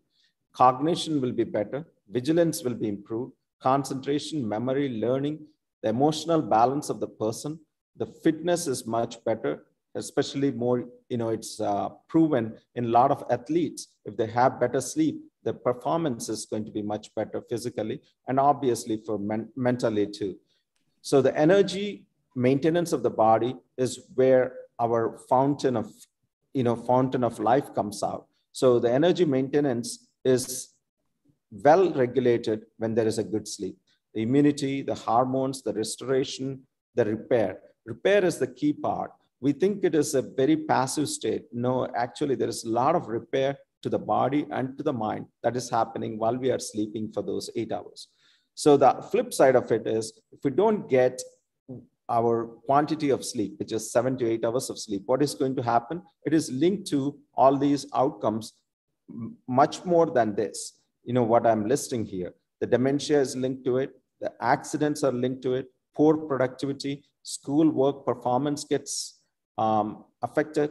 Cancers, you know, WHO has come up with this, you know, night shift work or lack of sleep is one of the potential carcinogenic risk factors. So the obesity, like we said, if you have a good sleep, you are less likely to gain all that weight. If you don't get good sleep, you're going to gain weight and thereby leading on to the other problems like diabetes, hypertension, or heart attacks. So tired and hungry, or you can also call as hungry and angry. So either whatever word you take, if you don't have good sleep, you're going to be either hungry or hangry. So we all notice that, you know, when we are not sleeping well, next day, we are not going to be at our best. So that's about the sleep quantity. So let's move on to the next leg, which is the sleep quality. And there is a lot of research, you know, the research going on for the past 50 years or so. It's one of the youngest branches of medicine that, as we know, is sleep medicine. So what do we know about it is that, you know, we need continuous, uninterrupted sleep. If you sleep for eight hours, but you are constantly woken up by internal or external factors, that's not going to be good quality sleep. They're as tired as somebody who is drunk. So what, why is that so important? Because there is an internal cleansing that or detoxing that happens while we are sleeping. So in other words, if you have the street roads, they are going to be cleaned. Or another example I can give is a library. So if all the books in the library are not put back together, so it's going to be very hard and disorganized system for us to get a retrieve a book when it is needed. Similarly, this drainage is basically like while we are sleeping, the neuronal cells, the neurons are going to shrink and the glial cells are going to open up and basically create a drainage system so the toxins that are generated by our activity during daytime are going to be cleansed out of the out of the mind out of the brain so that you are more sharper next day. So what do we, other things that we know about sleep is basically there are five stages. So recent classification, the stage three and four combined together are called delta sleep. So technically we have four stages of sleep. Sleep one being the light, non-REM sleep or uh, stage one is basically the lightest of the sleeps. Then stage two, then three and four together are called delta. And then we have this special rapid eye movement sleep where most of the dreaming occurs. So this is all regulated by our internal clock system that is both genetically highly, highly regulated and evolutionarily preserved from the time of the fruit flies. See, fruit flies are very, very tiny. You know, that's how the sleep research is done on the fruit flies. So they take the, the same genetic, similar genetic mechanisms that are happening in a fruit fly are still happening in our mind, in a, I'm sorry, in our brain. So the other thing that we know are process C, which is a circadian rhythm, and then process H, which is homeostatic. So the rhythm is maintained by the process C, the drive is maintained by the process H or homeostatic mechanism. To give an example, circadian rhythm is maintained by the sun and our activity level. The primary thing is the sun. The sunlight exposure will suppress our sleep chemicals and improve our wake chemicals. When the sun goes away, then the melatonin gets produced and our sleep chemicals are going to build up and our wake promoting chemicals are going down. So that's a nice cosmic dance or a rhythm that you can see that maintains our 16 hours on, eight hours off. Then what we call these regulators, how all this is happening is mainly by these cues or regulators that are happening, whether they are external or internal. So in a German word was used to describe this, these are uh, called Zeitgebers. So again, going back to the preparing the dish, so there are six centers in the brain that actually produce the sleep promoting chemicals that are produced at the right time and right doses for us to be able to maintain a good quality sleep while we are refreshing, regenerating, and repairing our body and mind. So the internal regulators are these chemicals. So um, some of them are wake promoting, some of them are sleep promoting. The external ones, 95% of the time, it is the sunlight. The activity and food also play into the role of our regulation also. So what is the outcome of all this is these good hormones that are being produced at the right time. These hormones are going to maintain every aspect of our health and our life and our ability to be a human being. So the growth hormone is so vital and important. And as we age, we get less of it. If we maintain a good quality sleep, at least we will get what we are supposed to get for our age group. So this ends the second leg, which is the sleep quality. The third thing I want to focus is the sleep regularity. Sleep regularity means you want to go to the bed at the same time and wake up at the same time. The wake up time is called the cue time. That's how body kind of readjusts for the next day. The cue time, in other words, what time you gotten out of the sleep is what it is trying to fix. So for any rhythm, you need to have a fixed thing upon which the rhythm builds up. So the cue time, the time that we wake up is the, such an essential thing. And we also, you want to avoid the social jet lag. What does social jet lag mean? We sleep, maybe get about only four to five hours during the workday, but over the weekend, you sleep longer. That is not actually a healthy habit. So you want to sleep at the same time and wake up at the same time, even whether you're working or not. So that is very, very essential. We, you know, um, Indians across the world, especially the people, non-resident Indians, we are notorious for our late night parties and that social obligation. I strongly recommend whatever you do, do it maybe like around three o'clock so that everybody leaves your home by 10 o'clock.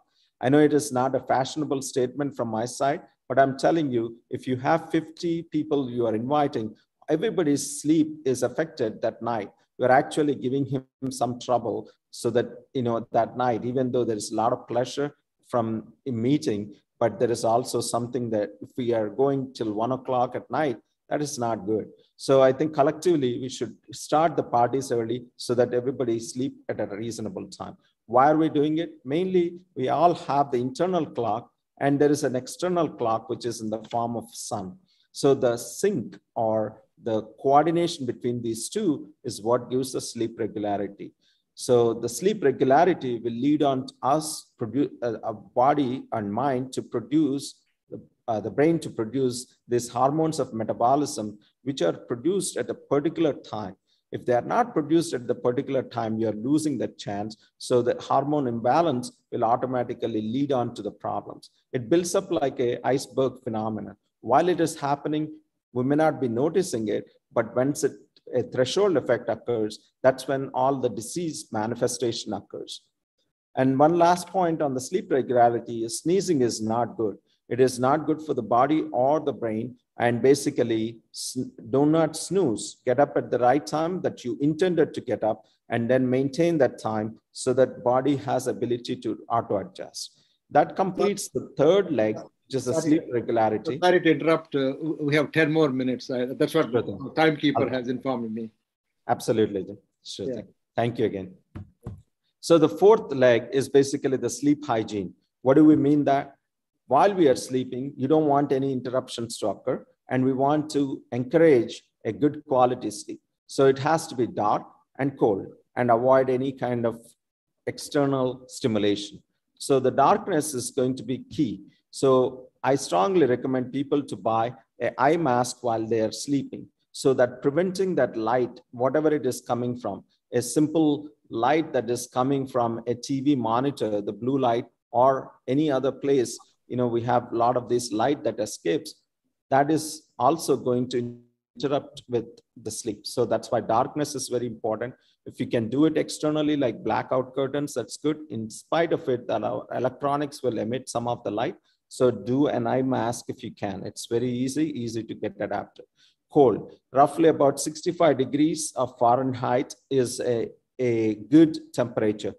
Our body temperature goes down by half a centigrade whenever we're trying to sleep. So that's why uh, I think keeping it cold will encourage better sleep and avoid the stimulants, caffeine, alcohol, tobacco, marijuana, in whatever form that is coming, whatever form these uh, stimulants are coming, we need to, or the suppressants are coming, we need to stop them or control or eliminate or even um, limit as much as you can. The sun time, like we said, a sign being the Zeitgeber, primary Zeitgeber or a controller of our sleep-wake cycle, it's very important that we don't get too much exposure to any light after 6 p.m. Uh, or 7 p.m. after the sunset. And, uh, you know, um, that's why it's very important. To overcome this, sometimes we use the light boxes or phototherapy to adjust the rhythms of uh, the sleep-wake cycle.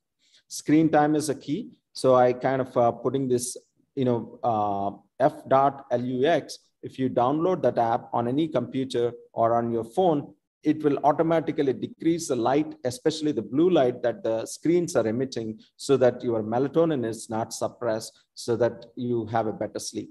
So encourage people to download or use some other kind of a blocker of blue light.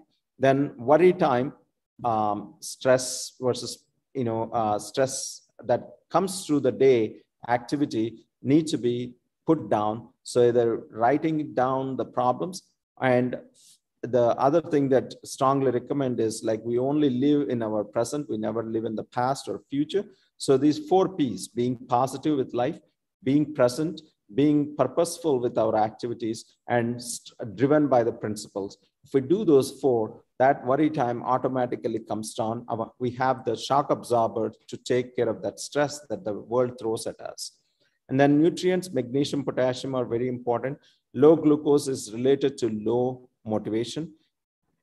And that ends these four pillars or four legs of a sleep on which the health is built on. So one last slide I have on sleep is basically these are the sleep disorders as sleep specialists and many of the physicians will be taking care of it. If you have any of these disorders, please reach out to your primary care doctor or the specialist and we will be able to, they will be able to take you to a better quality and quantity of sleep. So I'll move on quickly with the, uh, to the post-COVID syndrome. In the po what is post-COVID syndrome? As we know, uh, this COVID-19, um, you know, it is affecting, it goes through the stages. The first phase is the viral phase, then the inflammatory phase. And most of the people have improvement in their symptoms by four week period. But, you know, um, but some people, even though they had, even if they had mild disease, they continue to have the symptoms that they experience for after that initial recovery. So if the symptoms persist more than four weeks after the diagnosis, that is called the post-COVID syndrome. And uh, so there are many names for that because most of the COVID information came, came into the world through non-medical media. So we got most of the information through not journals, but sometimes these TV channels and social media. So there are a lot of names that are colloquially used, long haulers, long COVID syndrome, and there's a medical term. So there's still a lot of uh, clarity that is needed for post-COVID syndrome.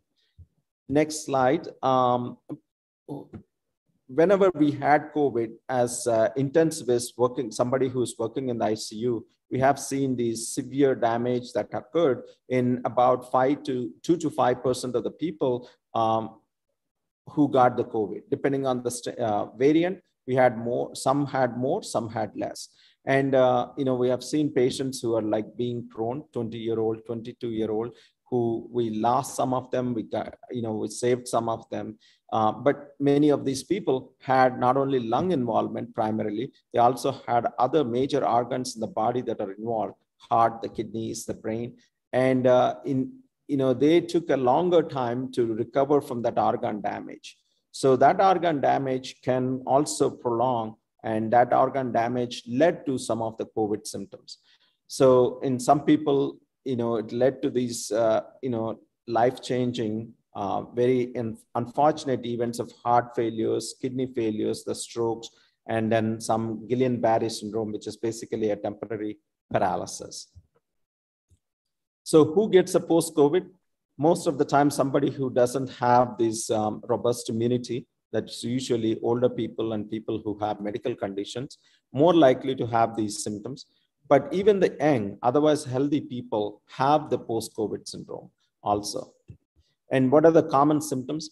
Fatigue is by far the worst and most common of the post COVID syndromes. I have seen friends, family, and my patients who have fatigue. And I'm not sure how we treat it. There is not a generalized uh, um, treatment protocol or management protocol or even diagnostic protocols available, unfortunately but that's one of the most common symptoms. And then we have seen as pulmonologists, the post-COVID cough, post-COVID shortness of breath, some rheumatological conditions like joint pains, the chest pain, the muscle pains, the memory concentration, what they call the COVID brain or the fogging that can happen. Um, then obviously the palpitations, which is related to the heart and um, the heart beating faster or slower and depression, anxiety, our good friend Dr. Kali is going to, uh, Ravi Garu is going to talk about uh, that in, in uh, next, next topic. And then fevers, persistent fevers, dizziness when they stand, we call it as orthostasis. And then uh, one of the other things is any physical or mental activity, they are okay when they're resting, with any activity, they are having trouble. So the diagnosis, unfortunately, there is no single test for us to confirm the diagnosis. It is by exclusion. And depending on the symptoms and the exam, your physician may recommend lab tests, imaging, and referral to a specialist. So there are some blood tests that can be done. A six minute walk test, a breathing test, or a CAT scan is what we normally do in the pulmonary or a lung field. Cardiologists will do a stress test or an echocardiogram to evaluate for these things. And then obviously if your symptoms are there more than four weeks or so post diagnosis i strongly recommend that you reach out to your physician see if there are any reversible conditions that can be reversed um, to decrease or alleviate the symptoms and like I said earlier, there is no specific treatment for post-COVID syndrome. It also depends on what kind of symptoms they have and which specialist and what studies have kind of guided uh, the patient and then the doctor to get the best remedy um, or alleviation of the symptoms. And so far, the available data is very limited by the sample size. It's very, very hard to do a reliable research. And most of the time, the reliable research takes few years. By the time, hopefully, the pandemic and all these symptoms are gone, we wish that for the rest of the world that we learn from the COVID and we kind of that helped us to be better human beings by taking care of our health first, then our families, and obviously give the best to the world around us. I th- that's my last slide, and I will take the questions at the end of all the presentations. Th- thank you very much, Prasad. Excellent talk. Very timely. Both topics are very timely. I think I have a lot of questions on the sleep, but uh, I think we need to move on in the interest of time. So, so I'll go to the next. Uh, diabetes is potentially affects all of us and has a at least potential to affect all of us and has a huge impact on various body systems and functions. And Dr. Padmaja Adusumalli will be introduced by Dr. APNA President, Dr. Praveen Sampath. Uh, Praveen, are you are you logged in? Yes, Dr. Reddy, my video is not working. It says disabled. Uh, okay, okay, go ahead. Anyway, we, we know uh, who you are. We saw you initially, at least. Hello, everyone. Uh, Go ahead. I'm uh, Praveen Sampath. I'm a gastroenterologist in uh, Austin, Texas. I'm also the president of APNA Foundation. Thanks to Dr. Reddy. Gives me great pleasure to introduce uh, Dr. Padmaja Adusumali. She's a very good friend of us, very active in the APNA Foundation, uh, who has a great uh, interest in community health and community health education. Dr. Adusumali is a uh, resident of uh, Kansas City, where she did her internal medicine residency and uh, practices at the VA Medical Center as an internal medicine physician and geriatrics. She's originally a graduate of uh, Guntur Medical College. Very, very active uh, in the community health and uh, diabetes is one of her passions. And uh, as Dr. Reddy rightfully said, growing incidence of diabetes among the Indian population. And uh, without making taking too much time, I give the stage to Dr. Adusumalli.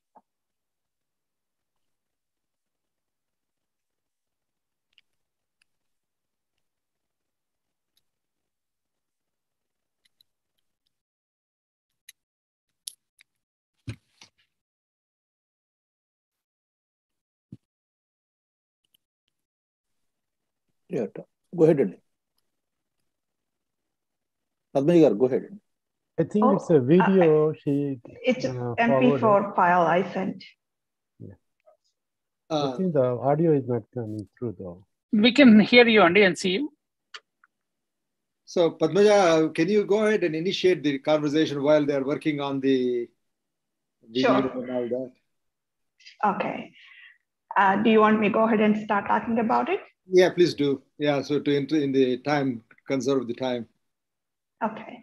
Uh, thank you very much, Dr. Adishesha Reddy uh, for letting me know that it's better to go ahead and start with the conversation.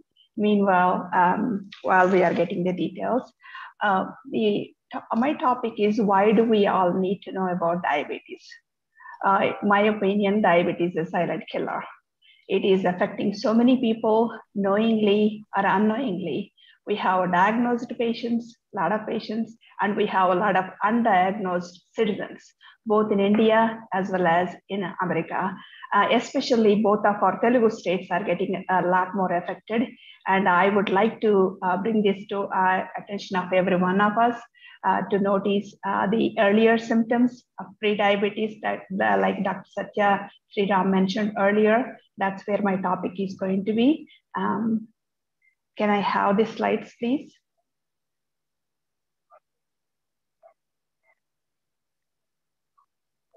Okay. Uh, Ram Reddy, uh, I guess they must be working on it, uh, Padmaja. Uh, so Okay. Please Uh, bear with them. uh, Okay, once I get the slides, I can give you the numbers. Uh, thank you.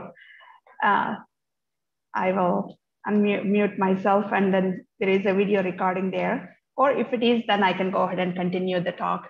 Diabetes, as I mentioned, is a silent killer. Diabetes and obesity caused more deaths. Uh, more deaths during COVID as well as after the COVID. Um, they here, can you go to the slide before?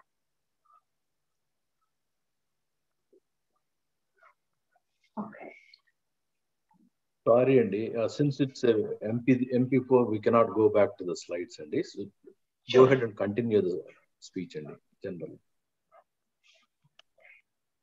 Yeah, do the best you can. Okay. Yeah. Um, I think in India, um, that, that's where I'm very, very uh, concerned that uh, we as Indians, we have a highest incidence of diabetes diagnosed and highest incidence of undiagnosed diabetes. I really want uh, to pay attention that I want to bring this attention to uh, bring this uh, concern to all of our citizenry in India as well as our uh, Indian origin Americans too. Uh, uh, the numbers, I am not able to remember the exact incidence of diabetes in India, but 77 million Indians or do have diabetes at this time, and there are so many undiagnosed.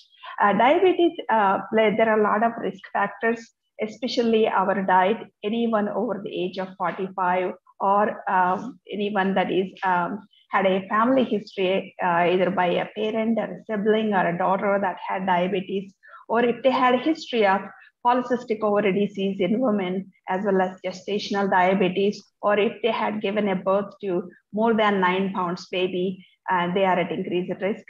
Currently, a lot of Indians, as well as our Indians that are working in the IT fields, even in US, they are doing uh, these telehealth jobs or tele jobs where it's uh, less physically active, sitting in front of the computers, being in the um, office rooms, um, attending the calls and all. So the, you might have heard in your communities that a lot more people are having sudden cardiac death.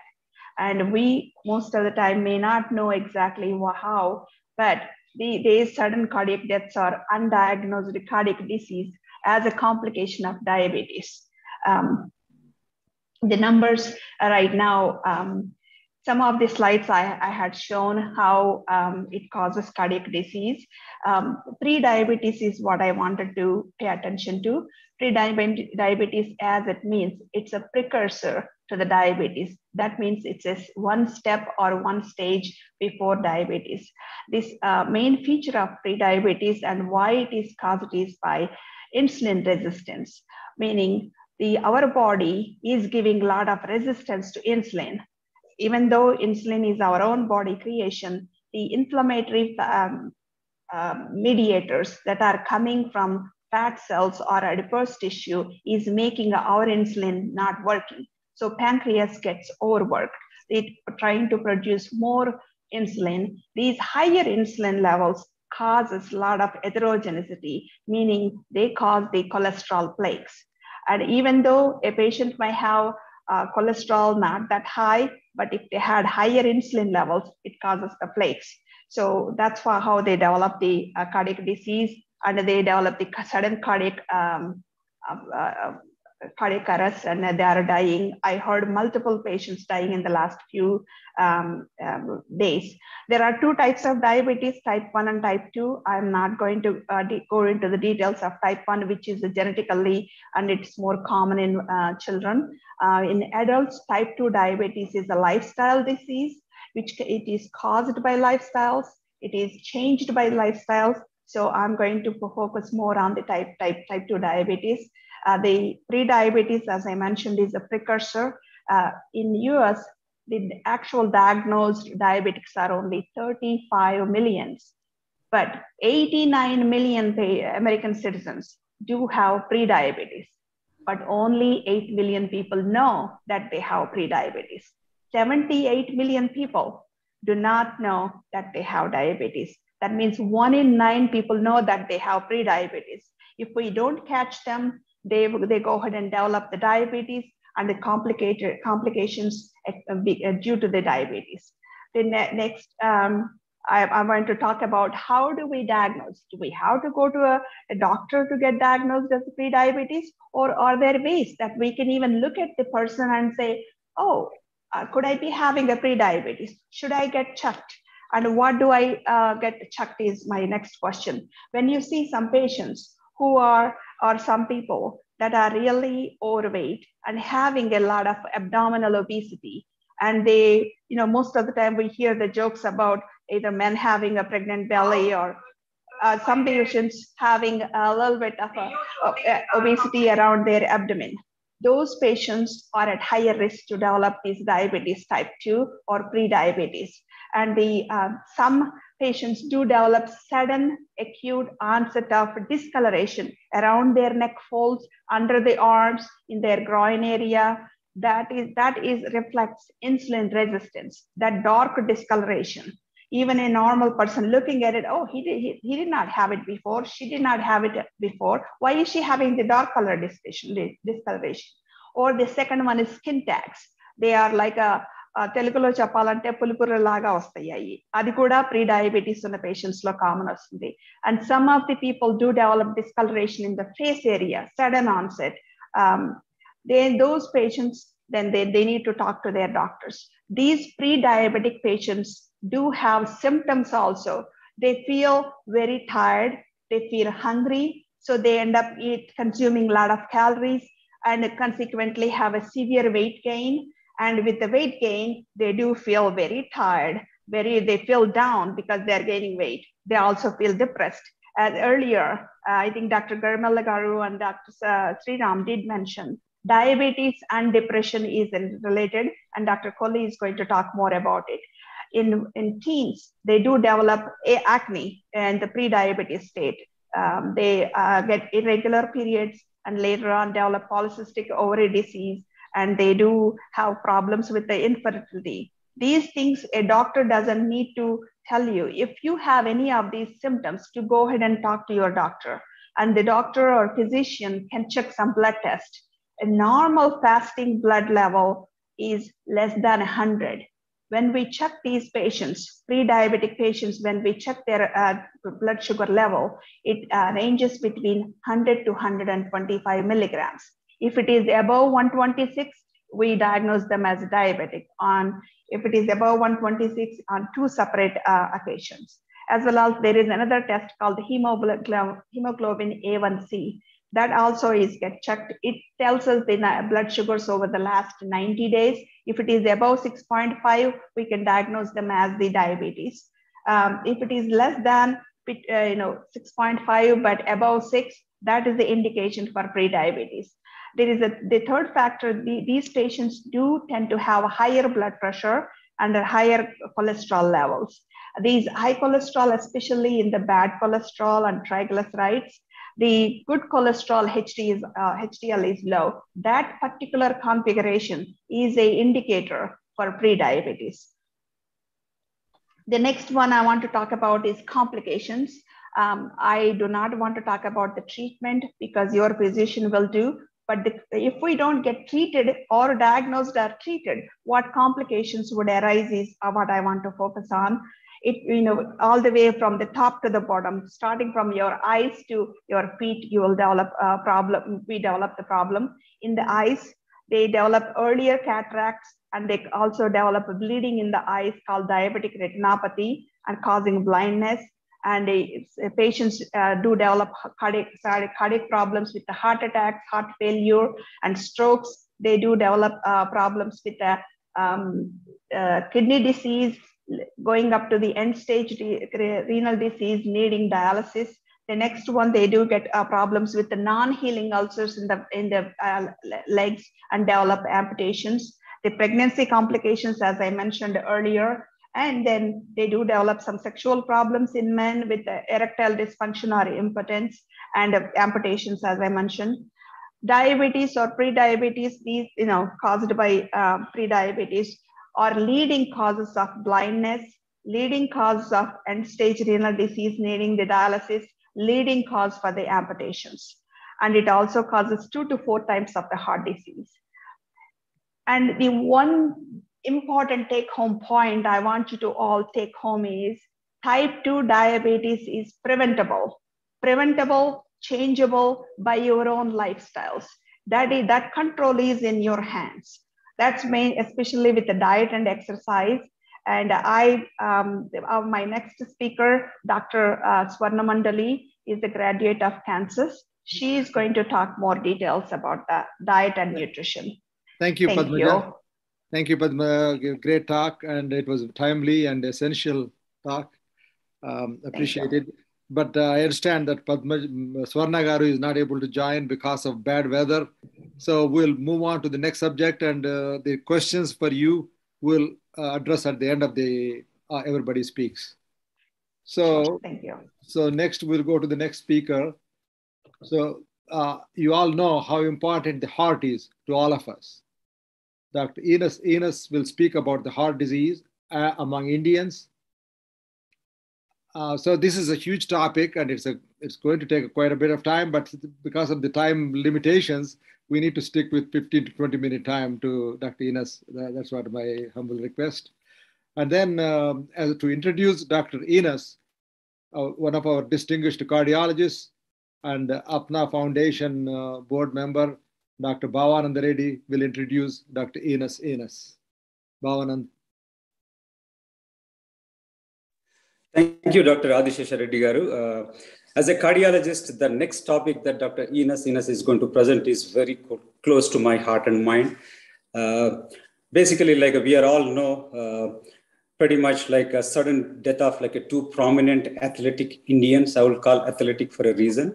Uh, Puneet Rajkumar, 46 year old uh, actor from Karnataka, and Gautam Reddy, 50 year old IT minister from Andhra Pradesh.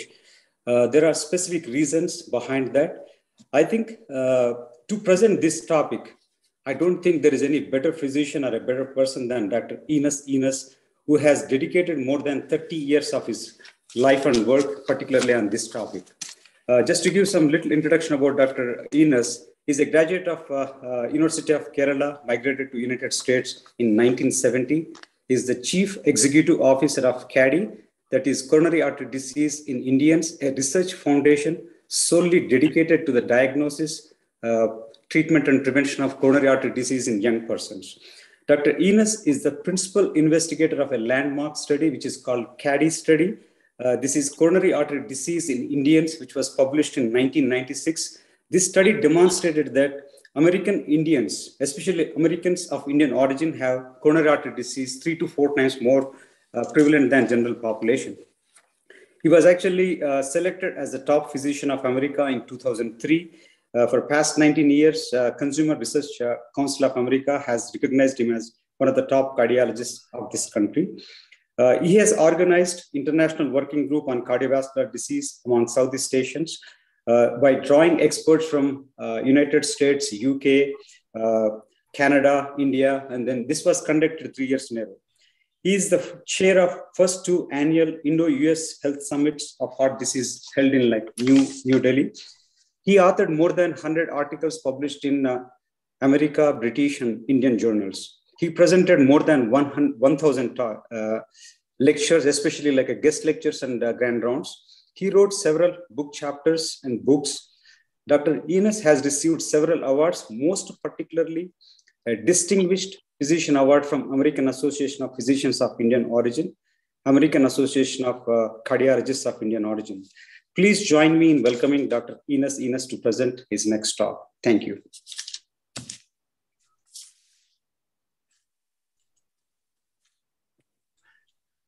Thank you so much for that generous introduction and inviting me. Can I share the screen? Okay. Uh, or inviting me to speak on the why do Indians die from malignant heart disease at a young age? Unraveling the enigma and mitigating the risk.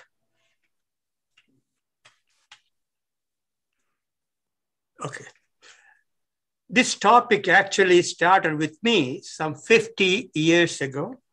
And last 30 years, I have intensified my efforts. In 1990, I addressed the, heightened risk of heart disease in young Indians for the first time. In 1995, I linked it to lipoprotein little. In 2018, the National NHLBI reported that one in four Indians have an abnormal cholesterol called lipoprotein A. And in 2018, the American College of Cardiology and American Heart Association jointly uh, stated South Asian ethnicity and lipoprotein little as heart disease risk enhancing factors. My slide is not, okay. This started from 1970 to 90. I came across six young Indian physicians in the 20s and in the 30s and in the 40s. One of them died, uh, who got the first MI at the age 25, died 11 years later, waiting for the transplant. And at that time, my observation was limited to Chicago. Then soon I realized that Professor Littler in the UK noted four Indians having massive heart attack between the ages of 18 and 22, and he could not find a single white individual in the UK. This was followed by Balarajan reporting that death rate from heart disease among Indians aged 20 to 29 years is three times higher than the whites. This is the angiogram from my friends at the age of 37 who had a heart attack out of the blue and he had a large coronary arteries. There is a pervasive myth that Indians have small coronary arteries. Nothing could be further from the truth. This is the same angiogram of the same individual 10 years later. Anyone would say that a person has extremely small coronary arteries, but this was rapid malignant progression of the heart disease. By age 47, he had ejection fraction 25%, and he was practically inoperable. And he was identified to have very high levels of lipoprotein little a. And that led to my coining the term malignant heart disease in young Indians. Nobody bothered, and many of the distinguished Indian professors said, heart disease is heart disease, nothing different about Indians. I made the observations, there are four of them. Extreme prematurity, severe diffuse and left main disease, and angiogram look like those with diabetic people, and rapid progression, as I just showed you. Equally high risk among vegetarians and non-vegetarians. Strangely, high rates or higher rates among women despite low rates of smoking. This is worse in India than in the US. We already covered the, okay. This is the plaque removed from the right coronary artery of a vegetarian professor with a picture perfect lifestyle and duration of the stay in the United States only seven days. This day, the knowledge on the subject changed from heart disease among Indian diaspora to Indians in India. This is the angiogram showing left main disease, LAD 99%, and you saw the right coronary artery uh, completely filling. He had emergency quadruple bypass surgery and lived another six, uh, 10 years. Now, when I was talking about the malignant heart disease in young Indians, we did not have any data from India or Indian data for that matter. This is from the Institute of Health Metrics. And every one of you who are listening should pay attention to the slides and the slides that follow. This is death rate under the between the ages of 15 and 49. These are ages when we don't expect heart disease, let alone die from heart disease. India, right? High and going up. China, low and going down. And now, number of deaths under the age of 50, India 185,000, China 88,000, USA 15. So the number of deaths among Indians under the age of 50 from heart disease is 12 times higher than the US. This is even more startling. The 29% of all death under the age of 50 is among Indian men. When it comes to Indian women, one third of all deaths under the age of 50 in the world is Indians. For women, the standard is 4% compared to 31% for Indians. Okay, I did the CADI study on Indian doctors, the cardiologists, the teachers, the preachers who know what to do. And the Indians, this orange color, they had four times more heart disease than white Americans. No difference between vegetarians and non-vegetarians. The rates are similar to New Delhi and Chennai, with Kerala and Goa having higher rates. So we looked at the risk factors. There are many risk factors, modifiable risk factors, standard, cholesterol, blood pressure, tobacco use, diabetes. And then you have risk enhancing factors, high triglyceride, metabolic syndrome. And then of course, there are genetic and non-modifiable factors. One thing I will be coming to and focusing more, lipoprotein little a is a modifiable risk factor, and that is on the verge of becoming a modifiable risk factor. And we did this study and found that the smoking and obesity were one tenth that of Americans. Other risk factors were similar or lower, with the exception of diabetes, which was 9% then and now 18%. So the $65,000 question is, why do Indians get high, such a high rate of heart disease? This is from the New York Times article on February 2012. In the UK, it's a big topic because the National Health Service is going broke, taking care of Indians with heart disease at a young age. There, there is what is called the US Biobank study. Half a million people, Indians and South Asians, heart attack and other coronary events were double, But this is the most important slide or important fact. When the risk is predicted by pooled cohort equation used in the US or QRISK3 used, risk 3 used in UK, the risks were identical, which means the risk prediction tools we use to predict the risk and treat does not predict the risk among Indians or underestimated by 50%, 100%. Now, this study further confirmed levels of lipoprotein little a, genetic risk factor, is 90 nanomoles. Indians have 60% higher levels of LPA little a. This lipoprotein is 99% genetic and it is double that of Chinese. Now, many of you may not have heard, or even the cardiologists may not be familiar with this, and I have only limited time.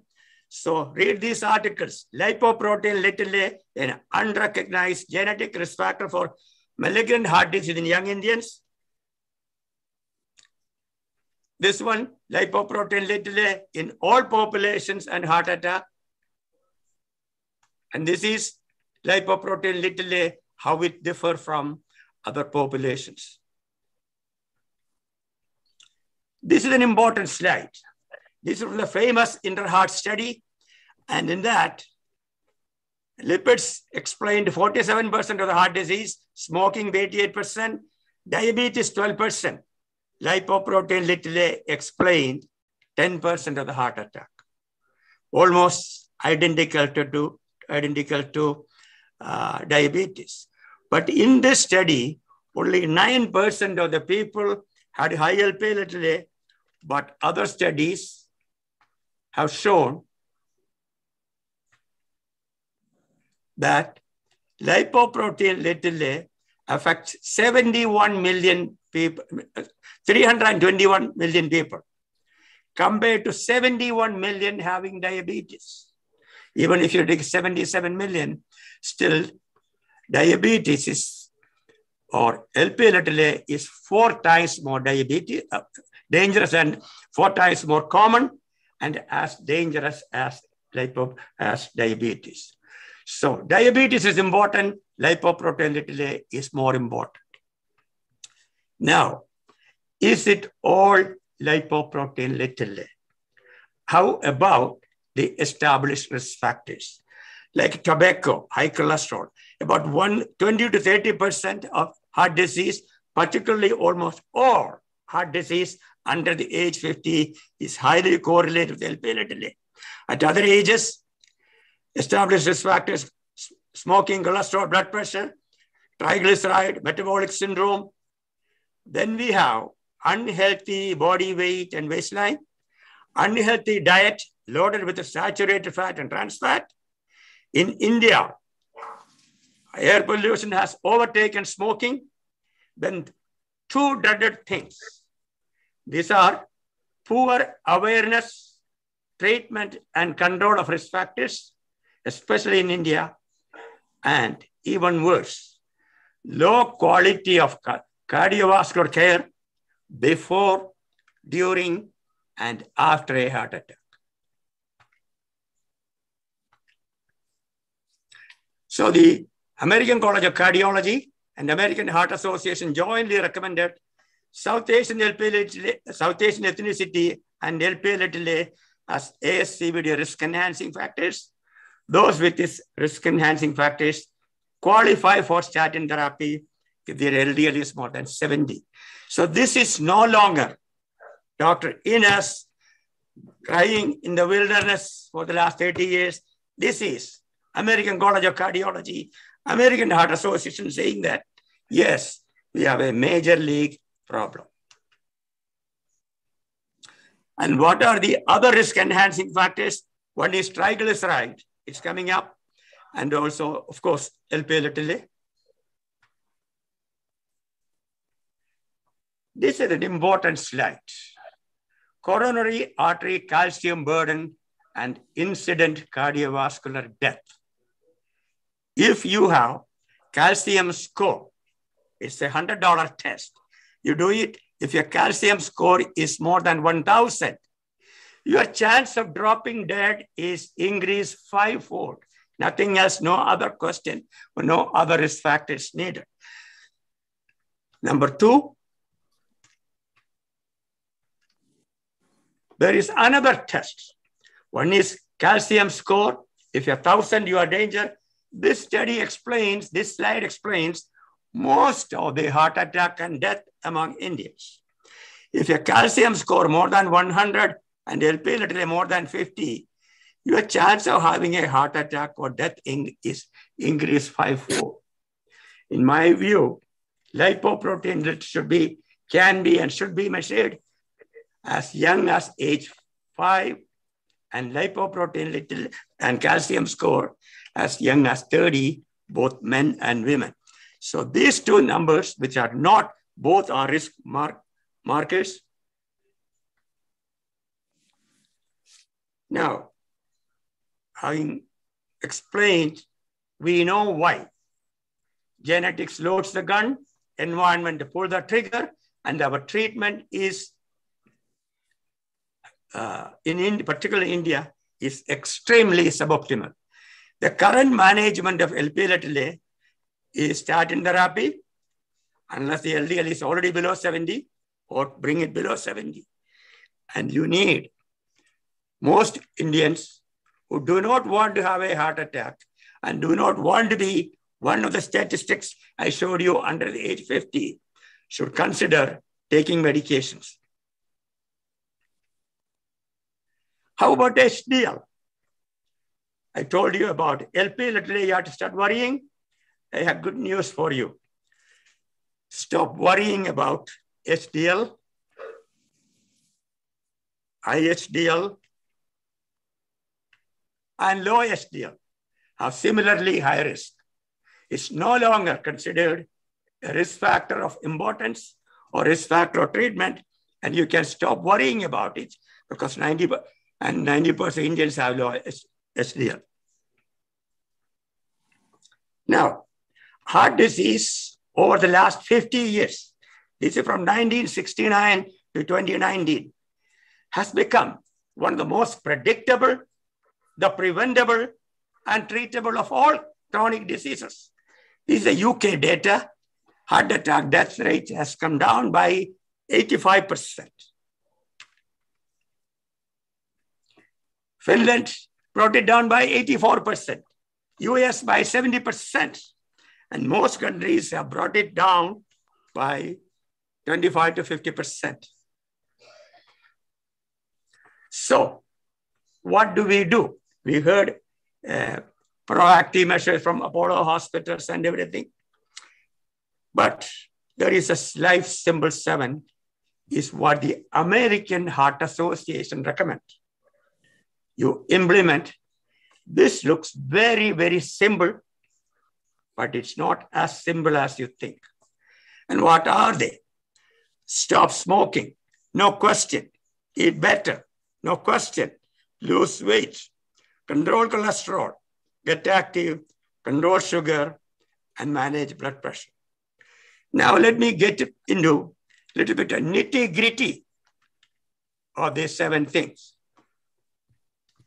The United States, the American Heart Association has come up with what is called ideal cardiovascular health for Americans. And this applies to Indians, but Indians need specific modifications, which I have made. And this is that modifications.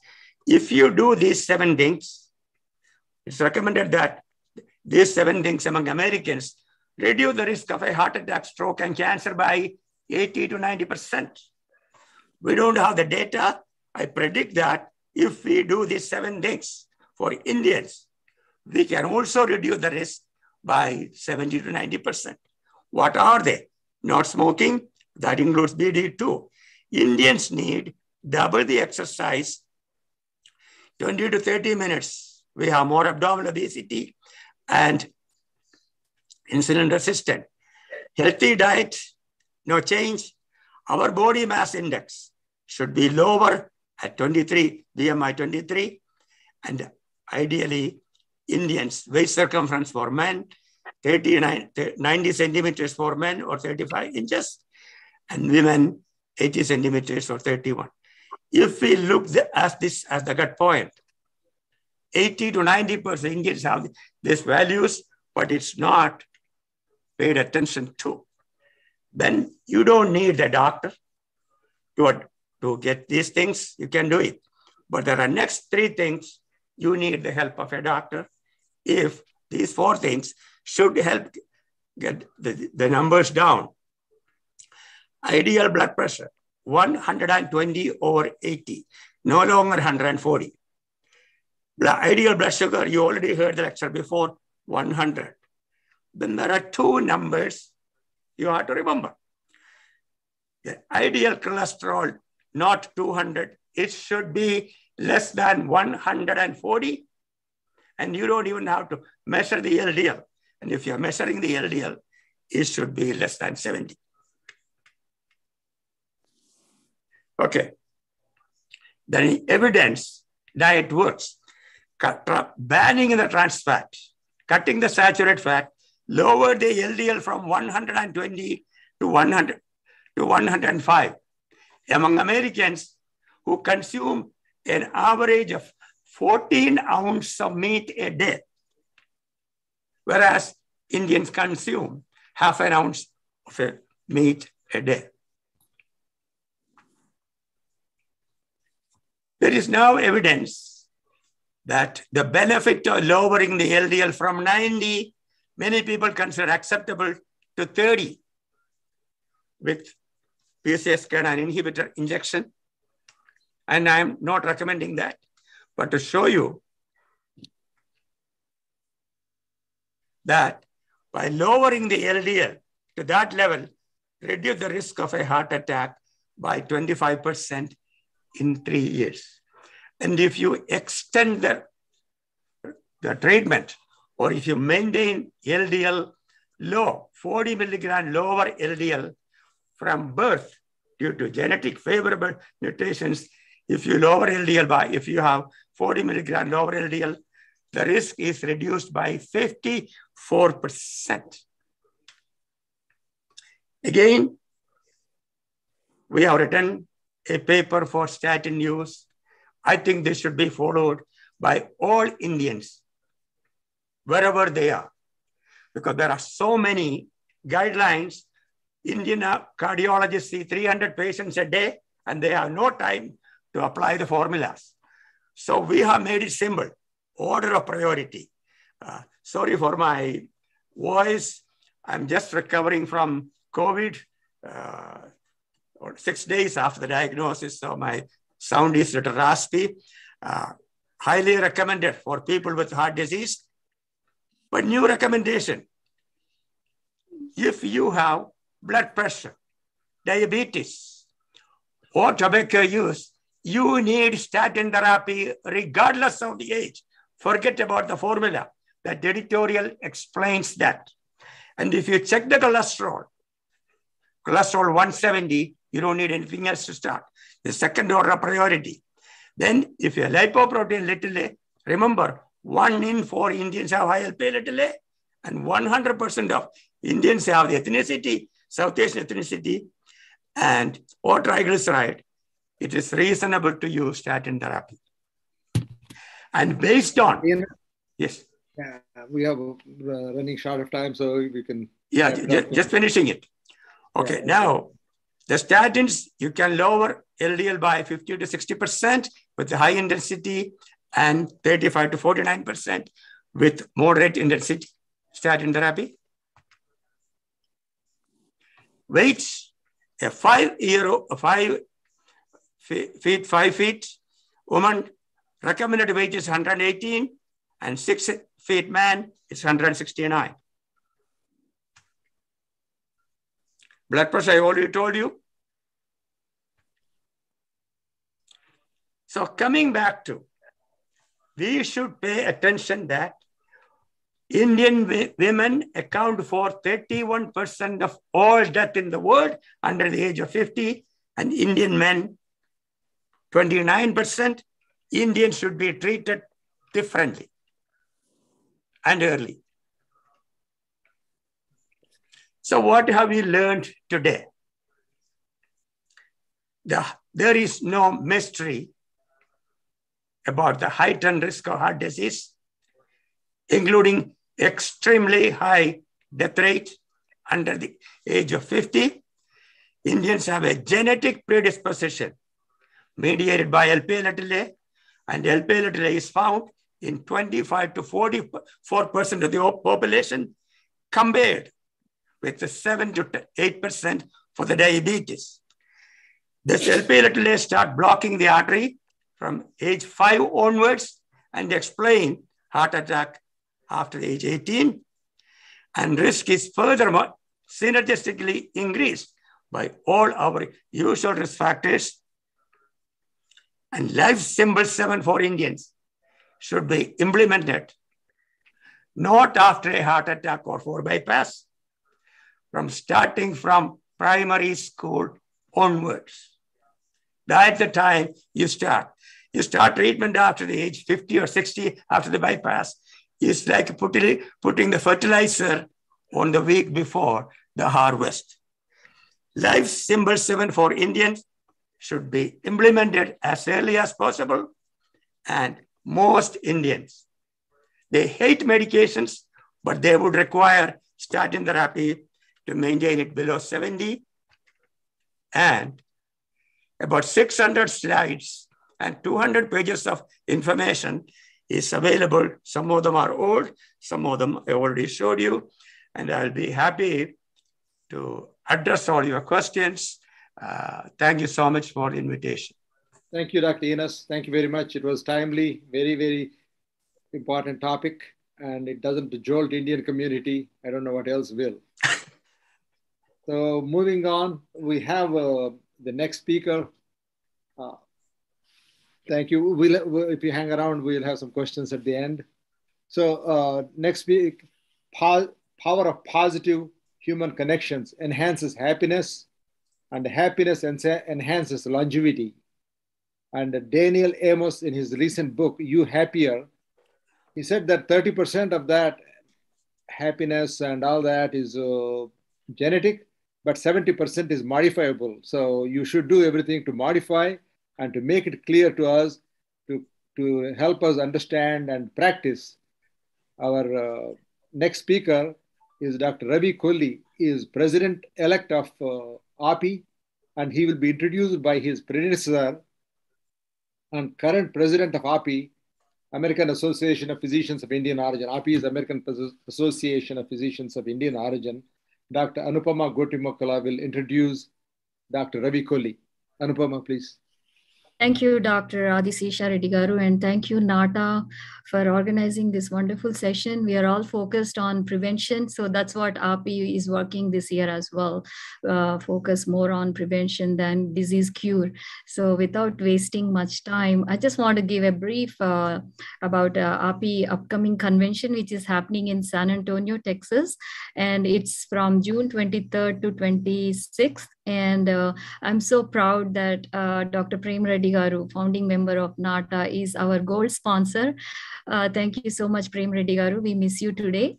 And uh, there are a lot of activities, but the main theme of this convention is on heal the healers. So we are the healers of the because of the COVID. So we focused more on wellness packages and uh, reflexology, yoga sessions, and lifestyle medicine talks, CME talks, and physician burnout talks. We have leadership coming from all the way from AMA president to Uh, leadership. So without wasting much time, let me introduce our speaker, who is uh, Dr. Ravi Kolli. He's our incoming uh, president-elect. He will be taking the gavel in less than five weeks.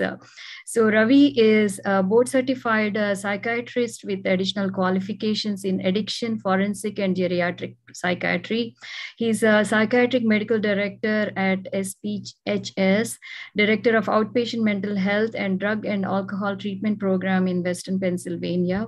He's uh, very uh, extremely seasoned in leadership. So he has been in the ATMG USA as past president and uh, Ramkana Rangaraya Medical College and uh, Tri-State Association of Physicians of Indian Origin, TAPI, Pittsburgh.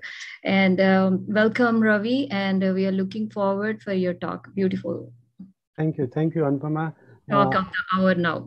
Okay, thank you, Anupama, for that introduction. And also thank you, also Sharadi Anna and uh, Nata, Api, and Apna for giving me this opportunity. I don't want to waste too much time. Uh, let me get to the topic, and I'm going to talk about uh, human connections and uh, positive emotions. Uh, as you all know, mental health is defined not as the absence of illness, but also well-being reflected by dealing with life stressors, working productively, and also contributing to the community. That's important.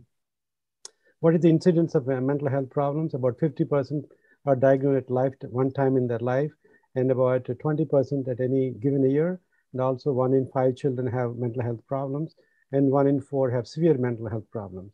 Uh, George Vaillant, a famous psychiatrist from Harvard, defined uh, different dimensions of mental health, above normal health, uh, mental status, positive psychology, individual maturity, emotional social intelligence, subjective well-being, and also resilience. I'll kind of cover all those aspects a little bit here and there. And uh, I want to talk a little bit about uh, mental health challenges in Indian diaspora. We have a stigma in our community about facing mental health issues, and we kind of avoid seeking treatment. And there are many factors for that. And as a matter of fact, South Asian immigrants have a higher risk of mental health problems because of many issues, including communication, acculturation, immigration, discrimination, as well as microaggression they face every day. 2018 study showed that stress-related acculturation and all these factors affect the mental health of uh, immigrants, especially the South Asians. So getting help is not easy for us, especially uh, as opposed to the white middle class people who can seek help very easily.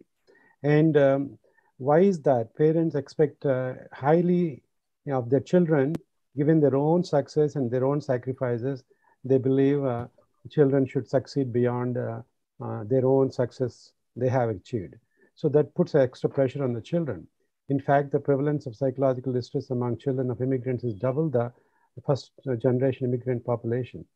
And children of Asian Americans, Pacific Islander, Latinx have even more uh, anxiety and depression compared to European immigrants. Then there are cultural uh, issues like privacy, proud self-reliance, preference for non-Western medicine, une uneasiness with American healthcare system also deter us from taking care of ourselves. So we need to break all these barriers. Im immigrant children also face financial, logistical, cultural, language challenges too. So, but also we have to ask some questions among ourselves.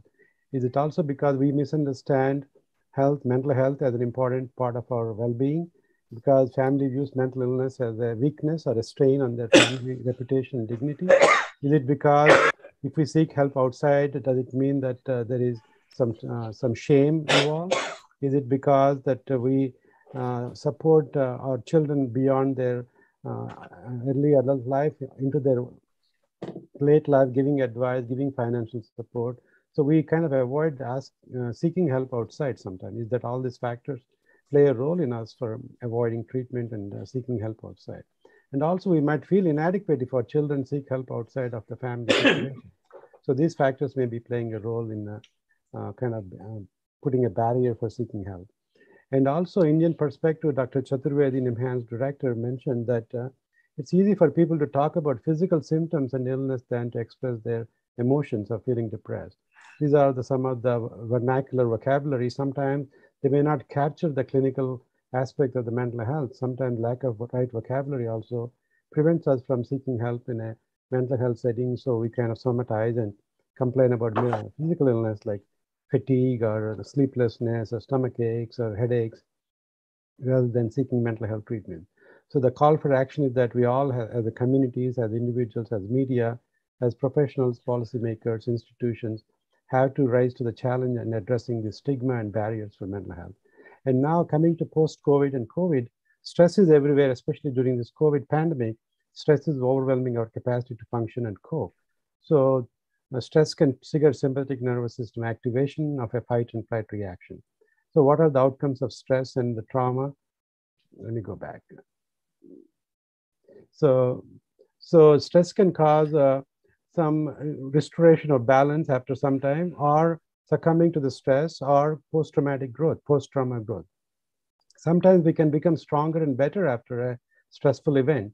And these are characterized by greater appreciation of life, closer relationship with our family and friends, and the community, identification of new possibilities that we didn't realize we have, and also realizing our own internal strengths and positive spiritual changes. These five dimensions are seen in people with post-trauma growth. How can we achieve that? Let's look at it. And origins of fear why we fear, why we fear the unknown, why fear, but fear has a survival protection mechanism. Fears makes us be aware of the threats in our environment and protect ourselves. But uh, this fear is uh, good for an, our ancestors who lived in the caves with the precarious life situations, frightening and threatening life experiences.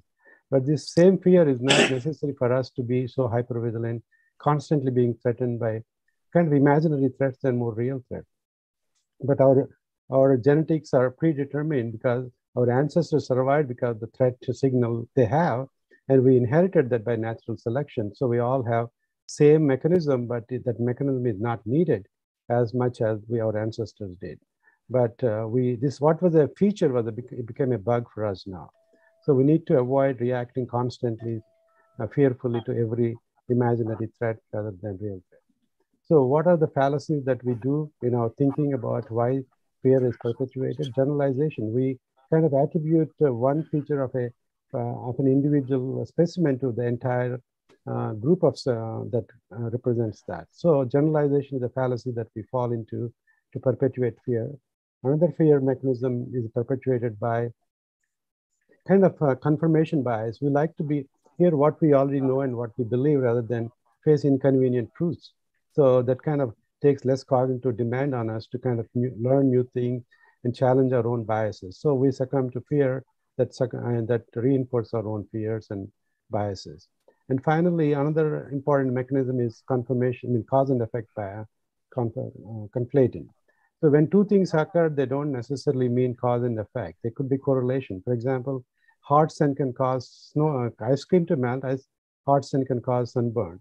But these are correlated, but they're not causation, ice, cream melting and having sunburn. Whereas hot sun has a causation effect, these two don't have the same causation effect, they're a correlation. As, a, as the slide illustrates a joke here, that kind of illustrates the point. A guy was uh, tearing up pieces of paper and throwing it out of the window of a city bus. And when he was asked why he was doing that, he said to keep the elephants out of the city street. And uh, then the next guy said, there are no elephants in the city. He said, see that what I'm doing is working. That's why there are no elephant. But so he's conflating the cause and effect versus correlation there. So we do that even as medical scientists and researchers. Sometimes we conflate cause and effect versus correlation. And coming to social isolation, the deadliness of social isolation has been recognized. 2019, it declared as a worldwide concern. About 50% people are living alone. As a matter of fact, UK just uh, appointed a Ministry of Loneliness in 2019, and Japan followed recently in 2011. So why? Because 43% are living lonely. They have a 45% increase of mortality. It's equal to smoking 15 packs of 15 cigarette pack a day. Uh, the risk factor, include as as severe as obesity and smoking, as severe as cholesterol and all those things. So, what is the neuroendocrine uh, phenomenon behind it? Social isolation has been recognized as a major risk factor for morbidity and mortality in humans for more than a quarter century. Population-based longitudinal studies have shown that uh, social isolation is a risk factor independent of other health behaviors. So human and animal investigation also neuroendocrine stress mechanism that may be involved suggests chronic isolation is activates hypothalamic pituitary adrenocortical axis. What about why? let me illustrate it. From babies to elderly, we're all socially, psychosocially embedded. And when that is uh, severed, severed, the ties are severed, we have a, a kind of a high illness burden and we don't recover well from our health challenges quantitative analysis showed, uh, studies showed, among 400,000 married couple, when a spouse dies, there's an increased rate of mortality by 18% in men and 16% in women. Loneliness affects immune system. Research found that freshman students who reported feeling lonely have a reduced immune system response when they were given flu vaccine. They catch colds easily and they don't recover well. People who are more socially integrated have better biomarkers for physiological functioning, such as low blood pressure, body mass index, lower cholesterol, C-reactive proteins, etc. So loneliness is affecting your immune system, affecting your heart, our diabetes, and all these factors. Why is it so? Because remember, we as a, um, social species, where human beings are social species, we're born prematurely uh, because we have the bipedal stem, uh, as we evolved, instead of a four-legged animal we became a two-legged animal. So the baby has to be delivered earlier than its maturation. So a lot of maturation takes place outside of the womb. Up to two years, they're maturing. So these two years are very important for protection and their survival. So it requires more than a mother and a father to say, take care of the child. A community is needed to protect the child, that infant child for it to survive. So the social bond, so important for our survival. And that is embedded in our genetics. And what about social contagion? Data from Framingham study showed that becoming happy, depressed, or obese are strongly mirrored by similar changes in your close friends. It's kind of amazing to, to imagine that if your friend is happy, you're happy. If they're obese, you can be obese too. An investigator found a geographical contagion as well. If your friend lives within a mile, you have 25% more likely to be happy. If a neighbor is uh, happy, you have 34 more percent more likely to be happy. This is illustrated by this slide, which I'll skip. So Harvard grant study, I'll skip it a little bit. George Vaillant again said, uh, who was the uh, uh, team leader for the study, which is a 50-year study. When the study began, nobody cared about empathy, attachment. But as we studied the more and longer, the relationships are important for our survival and well-being. And aging in his book, he talked about the stable marriage is so important. Relationships are so important for her physical as well as emotional health as important as alcohol, tobacco cessation, all that. Robert Waldinger, who followed his uh, same study as the third director, also did the same statement. Taking care of your body is important, but tending to your relationship is even more important of a form of self-care. That's a revelation for him. He's a Zen master, but he realized importance of relationships, friendship, loneliness skills is powerful as smoking and alcoholism. So we need to avoid loneliness. We need to improve our communications in our relationship. So be intentional in spending time together with spouse or your partner because we hardly spend enough time with family. 20 minutes we talk to each other in a week. We need to spend at least 20 to 30 minutes catching up with each other. And use more I statements than you statements so they don't become defensive. You express your feelings rather than attributing anything to them. I'm kind of skipping fast to catch up as much. And uh, tips for improving quality in communication, express negative feelings constructively. If you're constantly giving criticism, nobody's going to listen to you.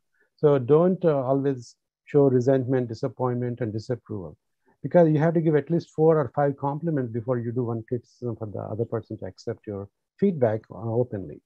So be specific, don't be kind of vague and generalize again. Be specific about what you're uh, disappointed or upset about and don't uh, do mind reading. Actually, I do the mind reading opposite. I expect my wife to know what exactly is on my mind all the time and take care of that. So, uh, but we should avoid mind reading as well. So listen without being defensive in your relationship and express your positive feeling. Like I said, appreciation, affection, respect, admiration, approval, and warmth should be expressed generously to our spouses because they do so much for us. And uh, then they're more likely to hear a negative comment or negative feedback and more likely to correct uh, the thing that they need to correct. So emotional intelligence is another factor that we all need to develop. That is the ability to recognize our own emotions and manage our emotions as well as emotions in other people, how they're reacting, how they're thinking, and how to read them and how to negotiate a mutually beneficial interaction.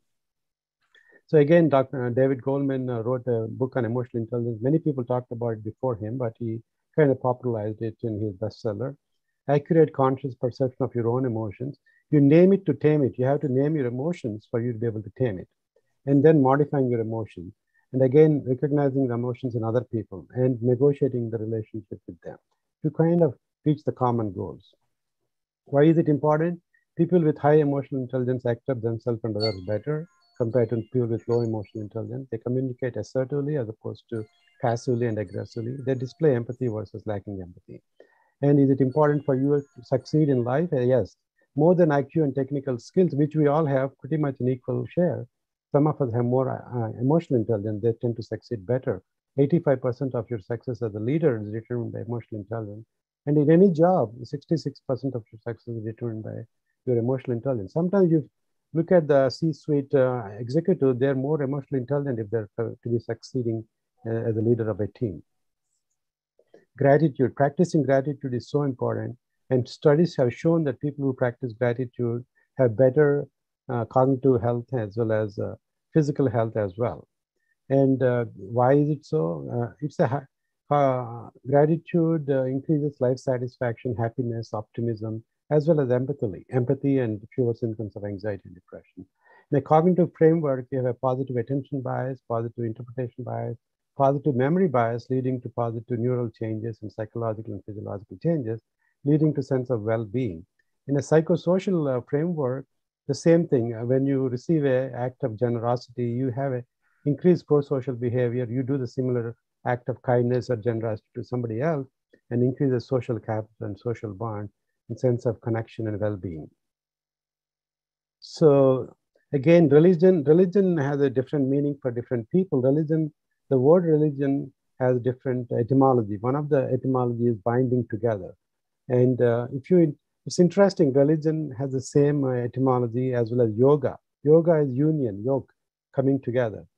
And uh, so these are all similar in concept, coming together either with each other or with God is what religion is. Religion is a set of practices, beliefs, worships, and sometimes it can be good, sometimes it can be bad. But beyond religion, spirituality is very important because it develops gratitude, altruism, well-being, and forgiveness. And roots of generosity, again, it's so important. Many of you are very generous people contributing to the community. Dr. Prem Reddy is a prime example and a role model for all of us to be generous. And uh, he's such a great example for that. And uh, generous, we are generous species. That's a kind of a uh, startling statement because we're all believed to made to believe that we are a selfish uh, creature, selfish animals, and aggression is for, uh, important for our survival. But as a matter of fact, there's a nuanced experience and explanation why generosity is so important for our species survival. And it runs deep in us. And uh, according to this uh, theory, biology of evolution, um, we, like, like I said, remember how social bonding is so important? Generosity is also so important for social bonding. Species as diverse as bees, birds, vampire bats, rats, chimpanzees exhibit a forms of generosity called pro-social behavior, and that acts to benefit them as well as others. So our survival depended on each other being generous to each other in, in our ancestral time. The occurrence of generosity across species suggests generosity may be an evolutionarily adopted behavior. So uh, what are the benefits of generosity? Most of, most of studies have uncovered evidence humans are biologically wired for generosity. Acting generously activates same reward pathway that activated by sex and food. Correlation may explain why giving may help feel good. So doing well, by, by doing good, we do well. That's what the, I think Thomas Jefferson said. And uh, so we can do well by doing good. And uh, further evidence also suggests deep roots of human generosity comes from many studies, as well as especially in children. They're so sharing and caring and generous. That kind of goes away as they grow and becomes more uh, kind of uh, competitive with each other. And uh, again, Three many more minutes, have- uh. Uh, Sorry to yeah, yeah. No, I'll, I'll skip quickly. Basically, I'm kind of stressing on generosity because so many of you are so generous. I want to applaud you and kind of validate your absolutely. giving as the important part of your well-being as well. And uh, well, small acts of kindness doesn't have to be millions of dollars. Just helping each other, holding the door for each other can be important as an act of generosity. Optimism versus pessimism is again an important part of emotional wellness. What is optimism? Optimism is characterized by people who think problems are not permanent. People uh, think who problems are not pervasive. It's not personal failure. Problems are changeable, circumscribed, circumstantial thinking. So you don't uh, own the failure. You kind of attribute the failure to many things and try to correct that mistake or a failure, and you're more likely to succeed in the future. So again, physical activity is so important for our physical mental health as well. We talked about it earlier. And uh, by psychologically, it gives a sense of self-efficacy, distraction, and immunologically, it improves your immune system. And physiologically, it does a lot of good things as well. And another important thing is spending time in the nature is so important. And uh, there are books and studies have shown it's called Shinrinkin Yoku or forest therapy done in uh, Japan. It showed that spending time in the nature, for example, even in your in your own yard, doesn't have to be like a hiking or a forest or trip or anything. You can just go outside and spend time in the nature. That helps with your uh, mental health.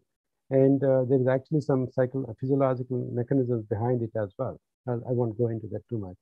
And wisdom and knowledge, the final slide or final point I want to make is we live in a society driven by data, information, and knowledge, which is good.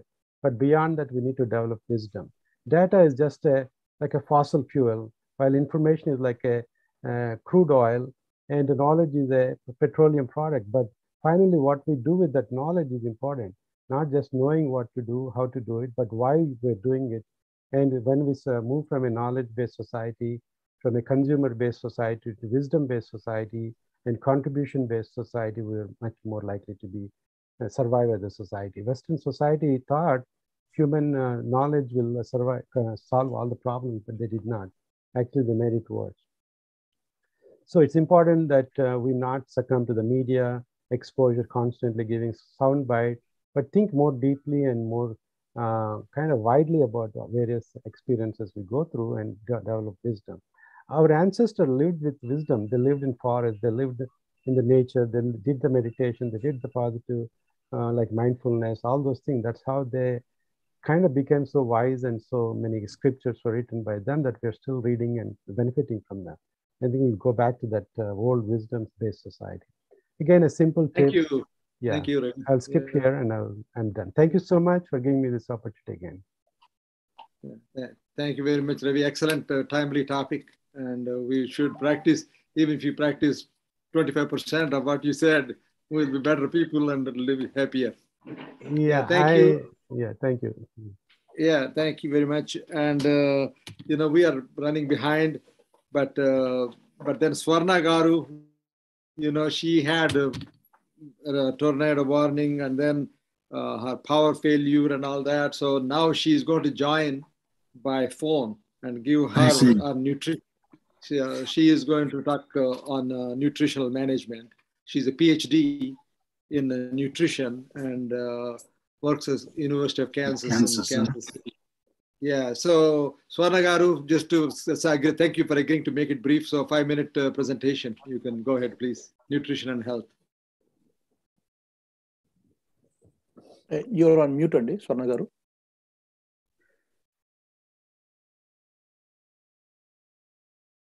స్వర్ణ గారు you are mute అండి.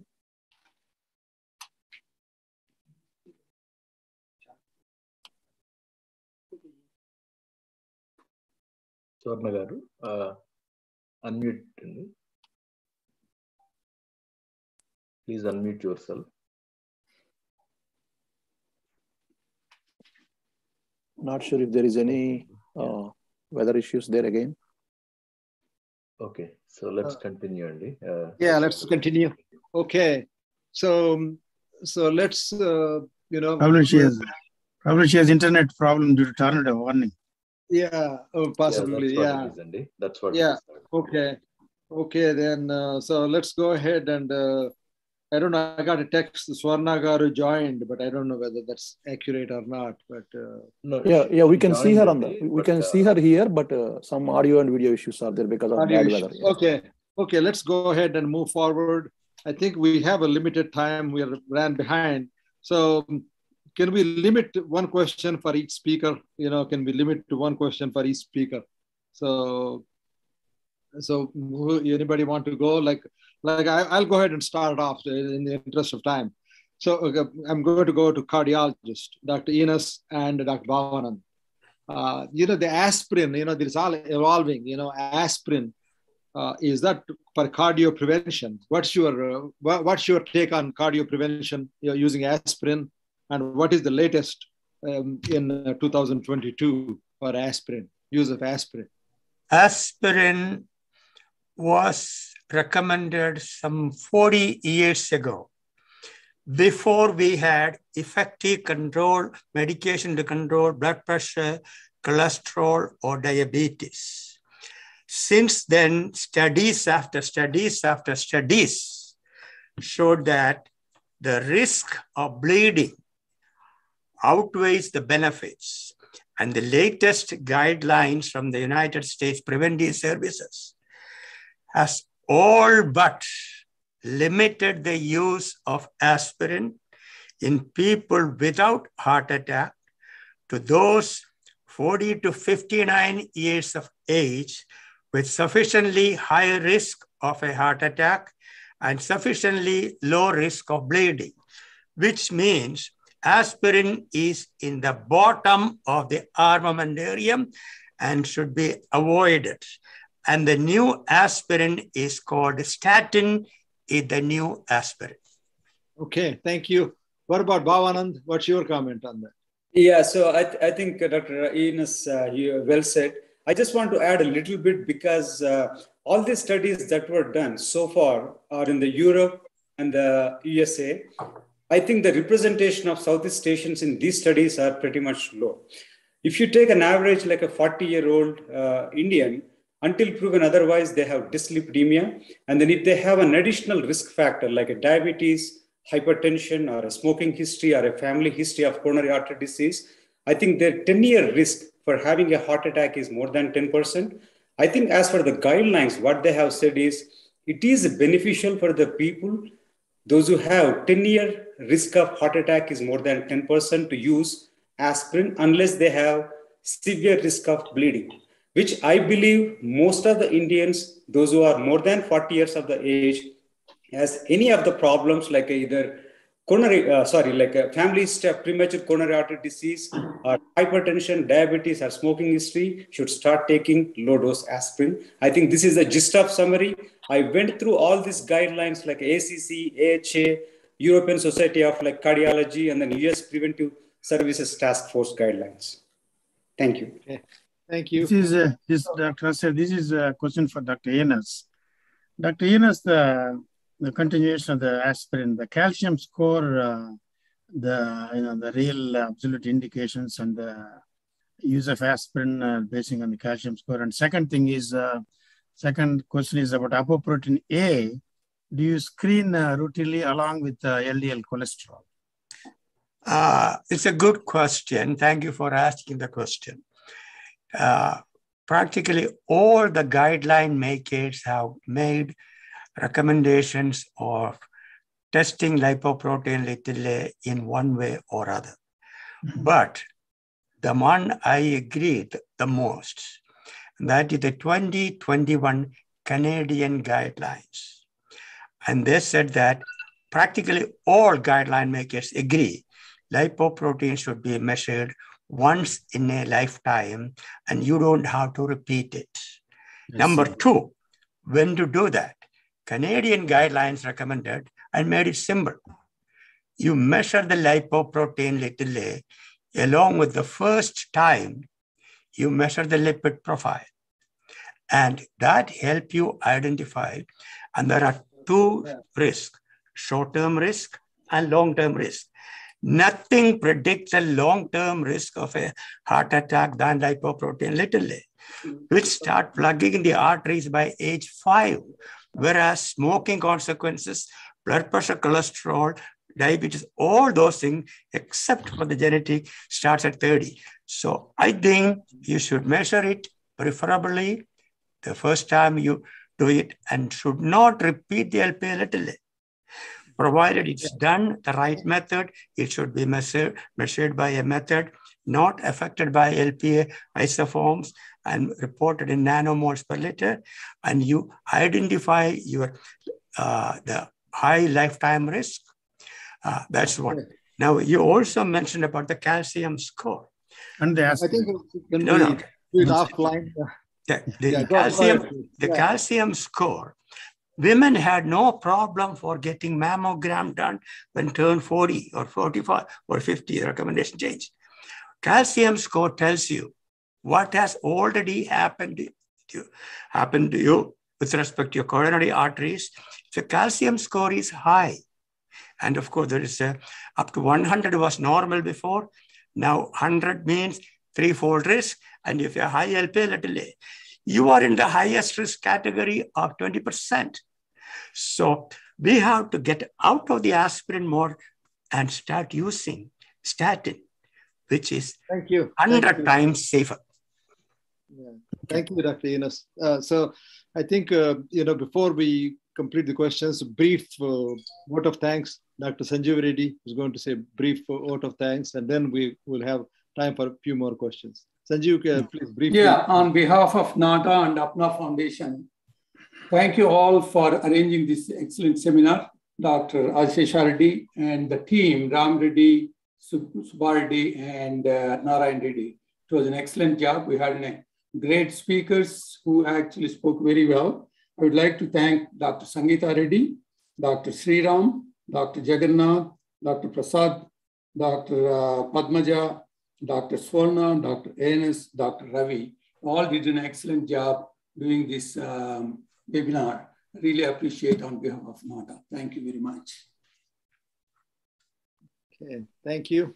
So, do any questions for? Uh, thank you, Sanjeev. Thank you. No. Yeah, thank you. Any other questions for uh, other speakers? Let's say Dr. Prasad Garimala. One question for each speaker. I have a question for uh, Dr. Ravi Kohli. I, I know that like emotional intelligence is absolutely important for success. Is there any ways and means to improve that?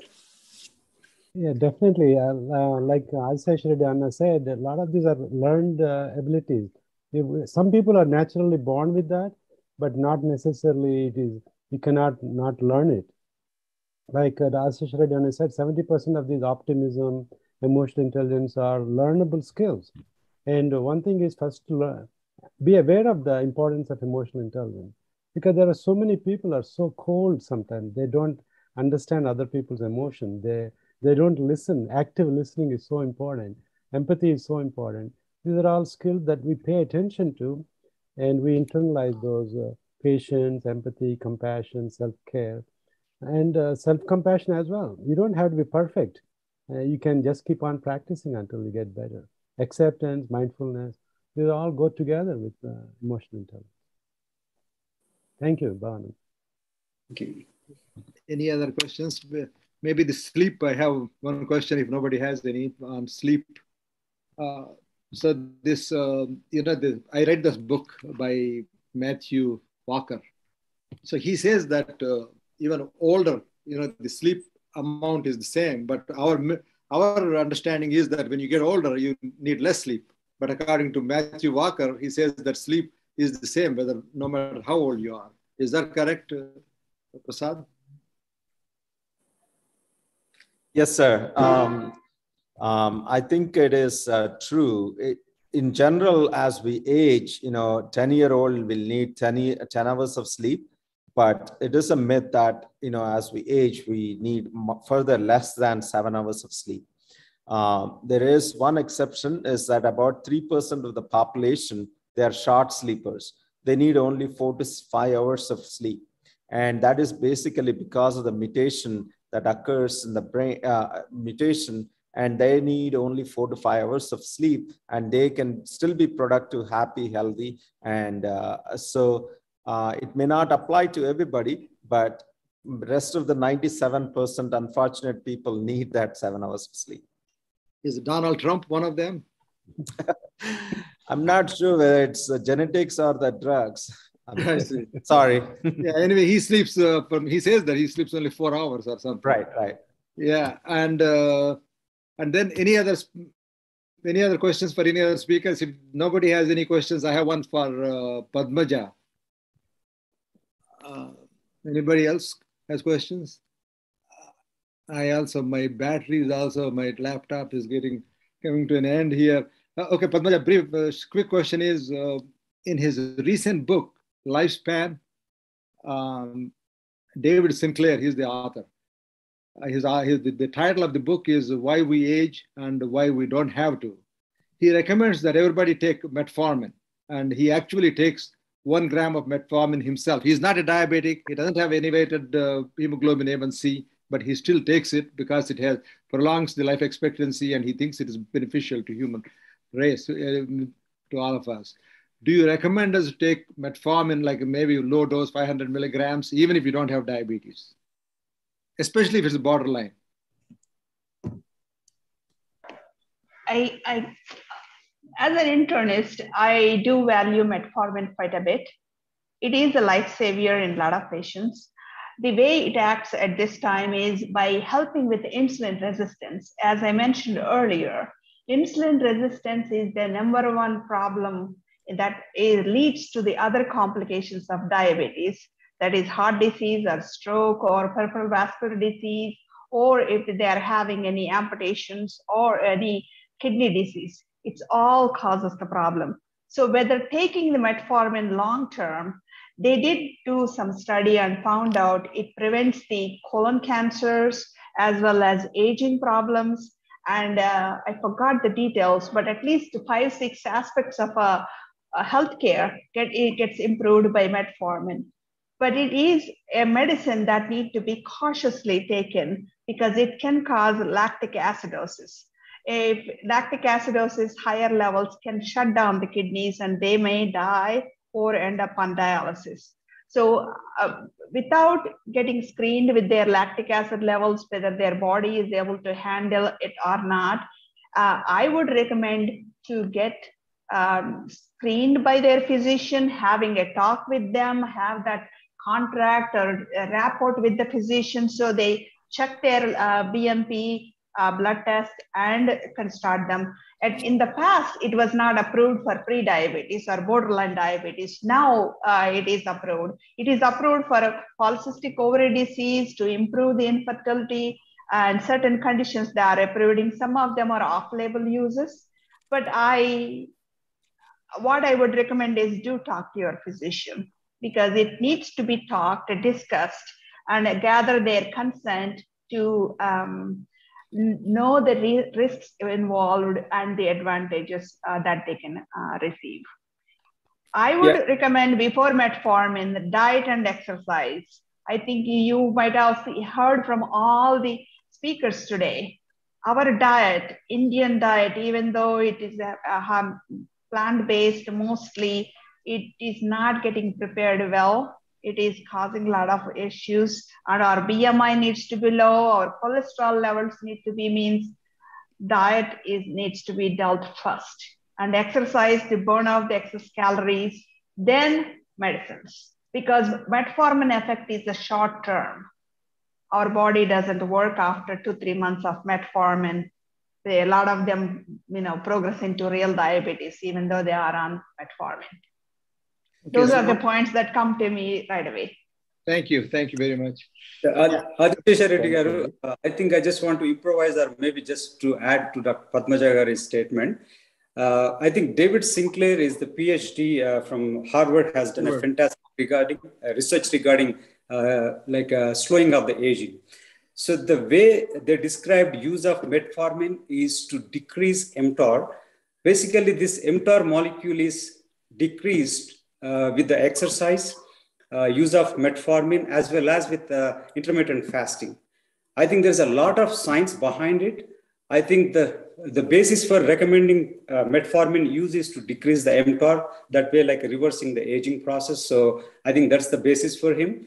Uh, I think we need to have like a lot more like a randomized controlled trials to really see and document this particular thing. So I think they're talking about the epigenome working, uh, you know, kind of controlling mTOR regulation this way. Thank yeah, you. absolutely, absolutely. That's good. Uh, good. What point. is what is intermittent fasting? I mentioned the. Yeah, but anyway, our time does not permit right now. Uh, so Thanks, and I just want to say a couple of my uh, just one say my video is gone. So yeah, I think uh, Dr. Ram, Ramireddy Garu will conclude this, uh, this webinar. Go ahead, uh, Ramireddy. Yeah, thanks, Andy. Thanks, Adishesha Reddy Garu, and thanks uh, all the wonderful speakers. It's, it's definitely on behalf of NATA, we sincerely thank everybody for participating and giving uh, uh, your, your experience to our uh, community. It's, it's more valuable. my video is gone. so- And uh, I just want to thank uh, Subbareddy Meka for uh, uh, taking care of all the. Uh, things behind the scene. So Zoom and all the technical work. Yeah, thank you, Narayan Reddy Garu, and uh, so all the team. And uh, I sincerely thank uh, Apna Foundation, um, and Praveen Sampath Garu and Bhavanand Reddy Garu, and also OPI team uh, for joining and uh, giving your valuable suggestions. Uh, thank you, Andy. Thank you to all the speakers and especially uh, for taking care of the live streaming and all. Lalesh from Mana TV and uh, Sridhar Chillaragaru uh, from TV5 uh, and Mana TV. Uh, thank you all for your support and uh, we'll, we'll bring more and more updates in future also. Then thanks again, Adishesha Reddy Garu for bringing this wonderful uh, webinar. Th- thank you. Thank you, Alla Ram Reddy and uh, Subba Reddy and Narayan Reddy. Without non-doctors, we couldn't have done it. Uh, so anyway, I think um, we may have one, one or two minutes. I think since Mohan brought up, I think we are done with the with meeting. Anybody can adjourn. But if anybody want to stay and want to hear about intermittent fasting, either Padmaja or Bhavanand, you want to comment briefly, and we can everybody. can- Intermittent. Intermittent. We'll end with the intermittent fasting. Yeah, that's right. That's right. Yeah, yeah. Okay. So, Bhavanand, so, you are the one who Y- wrapped yes, that word I- up. Go for it. yeah. Yes, I, I I think I think I've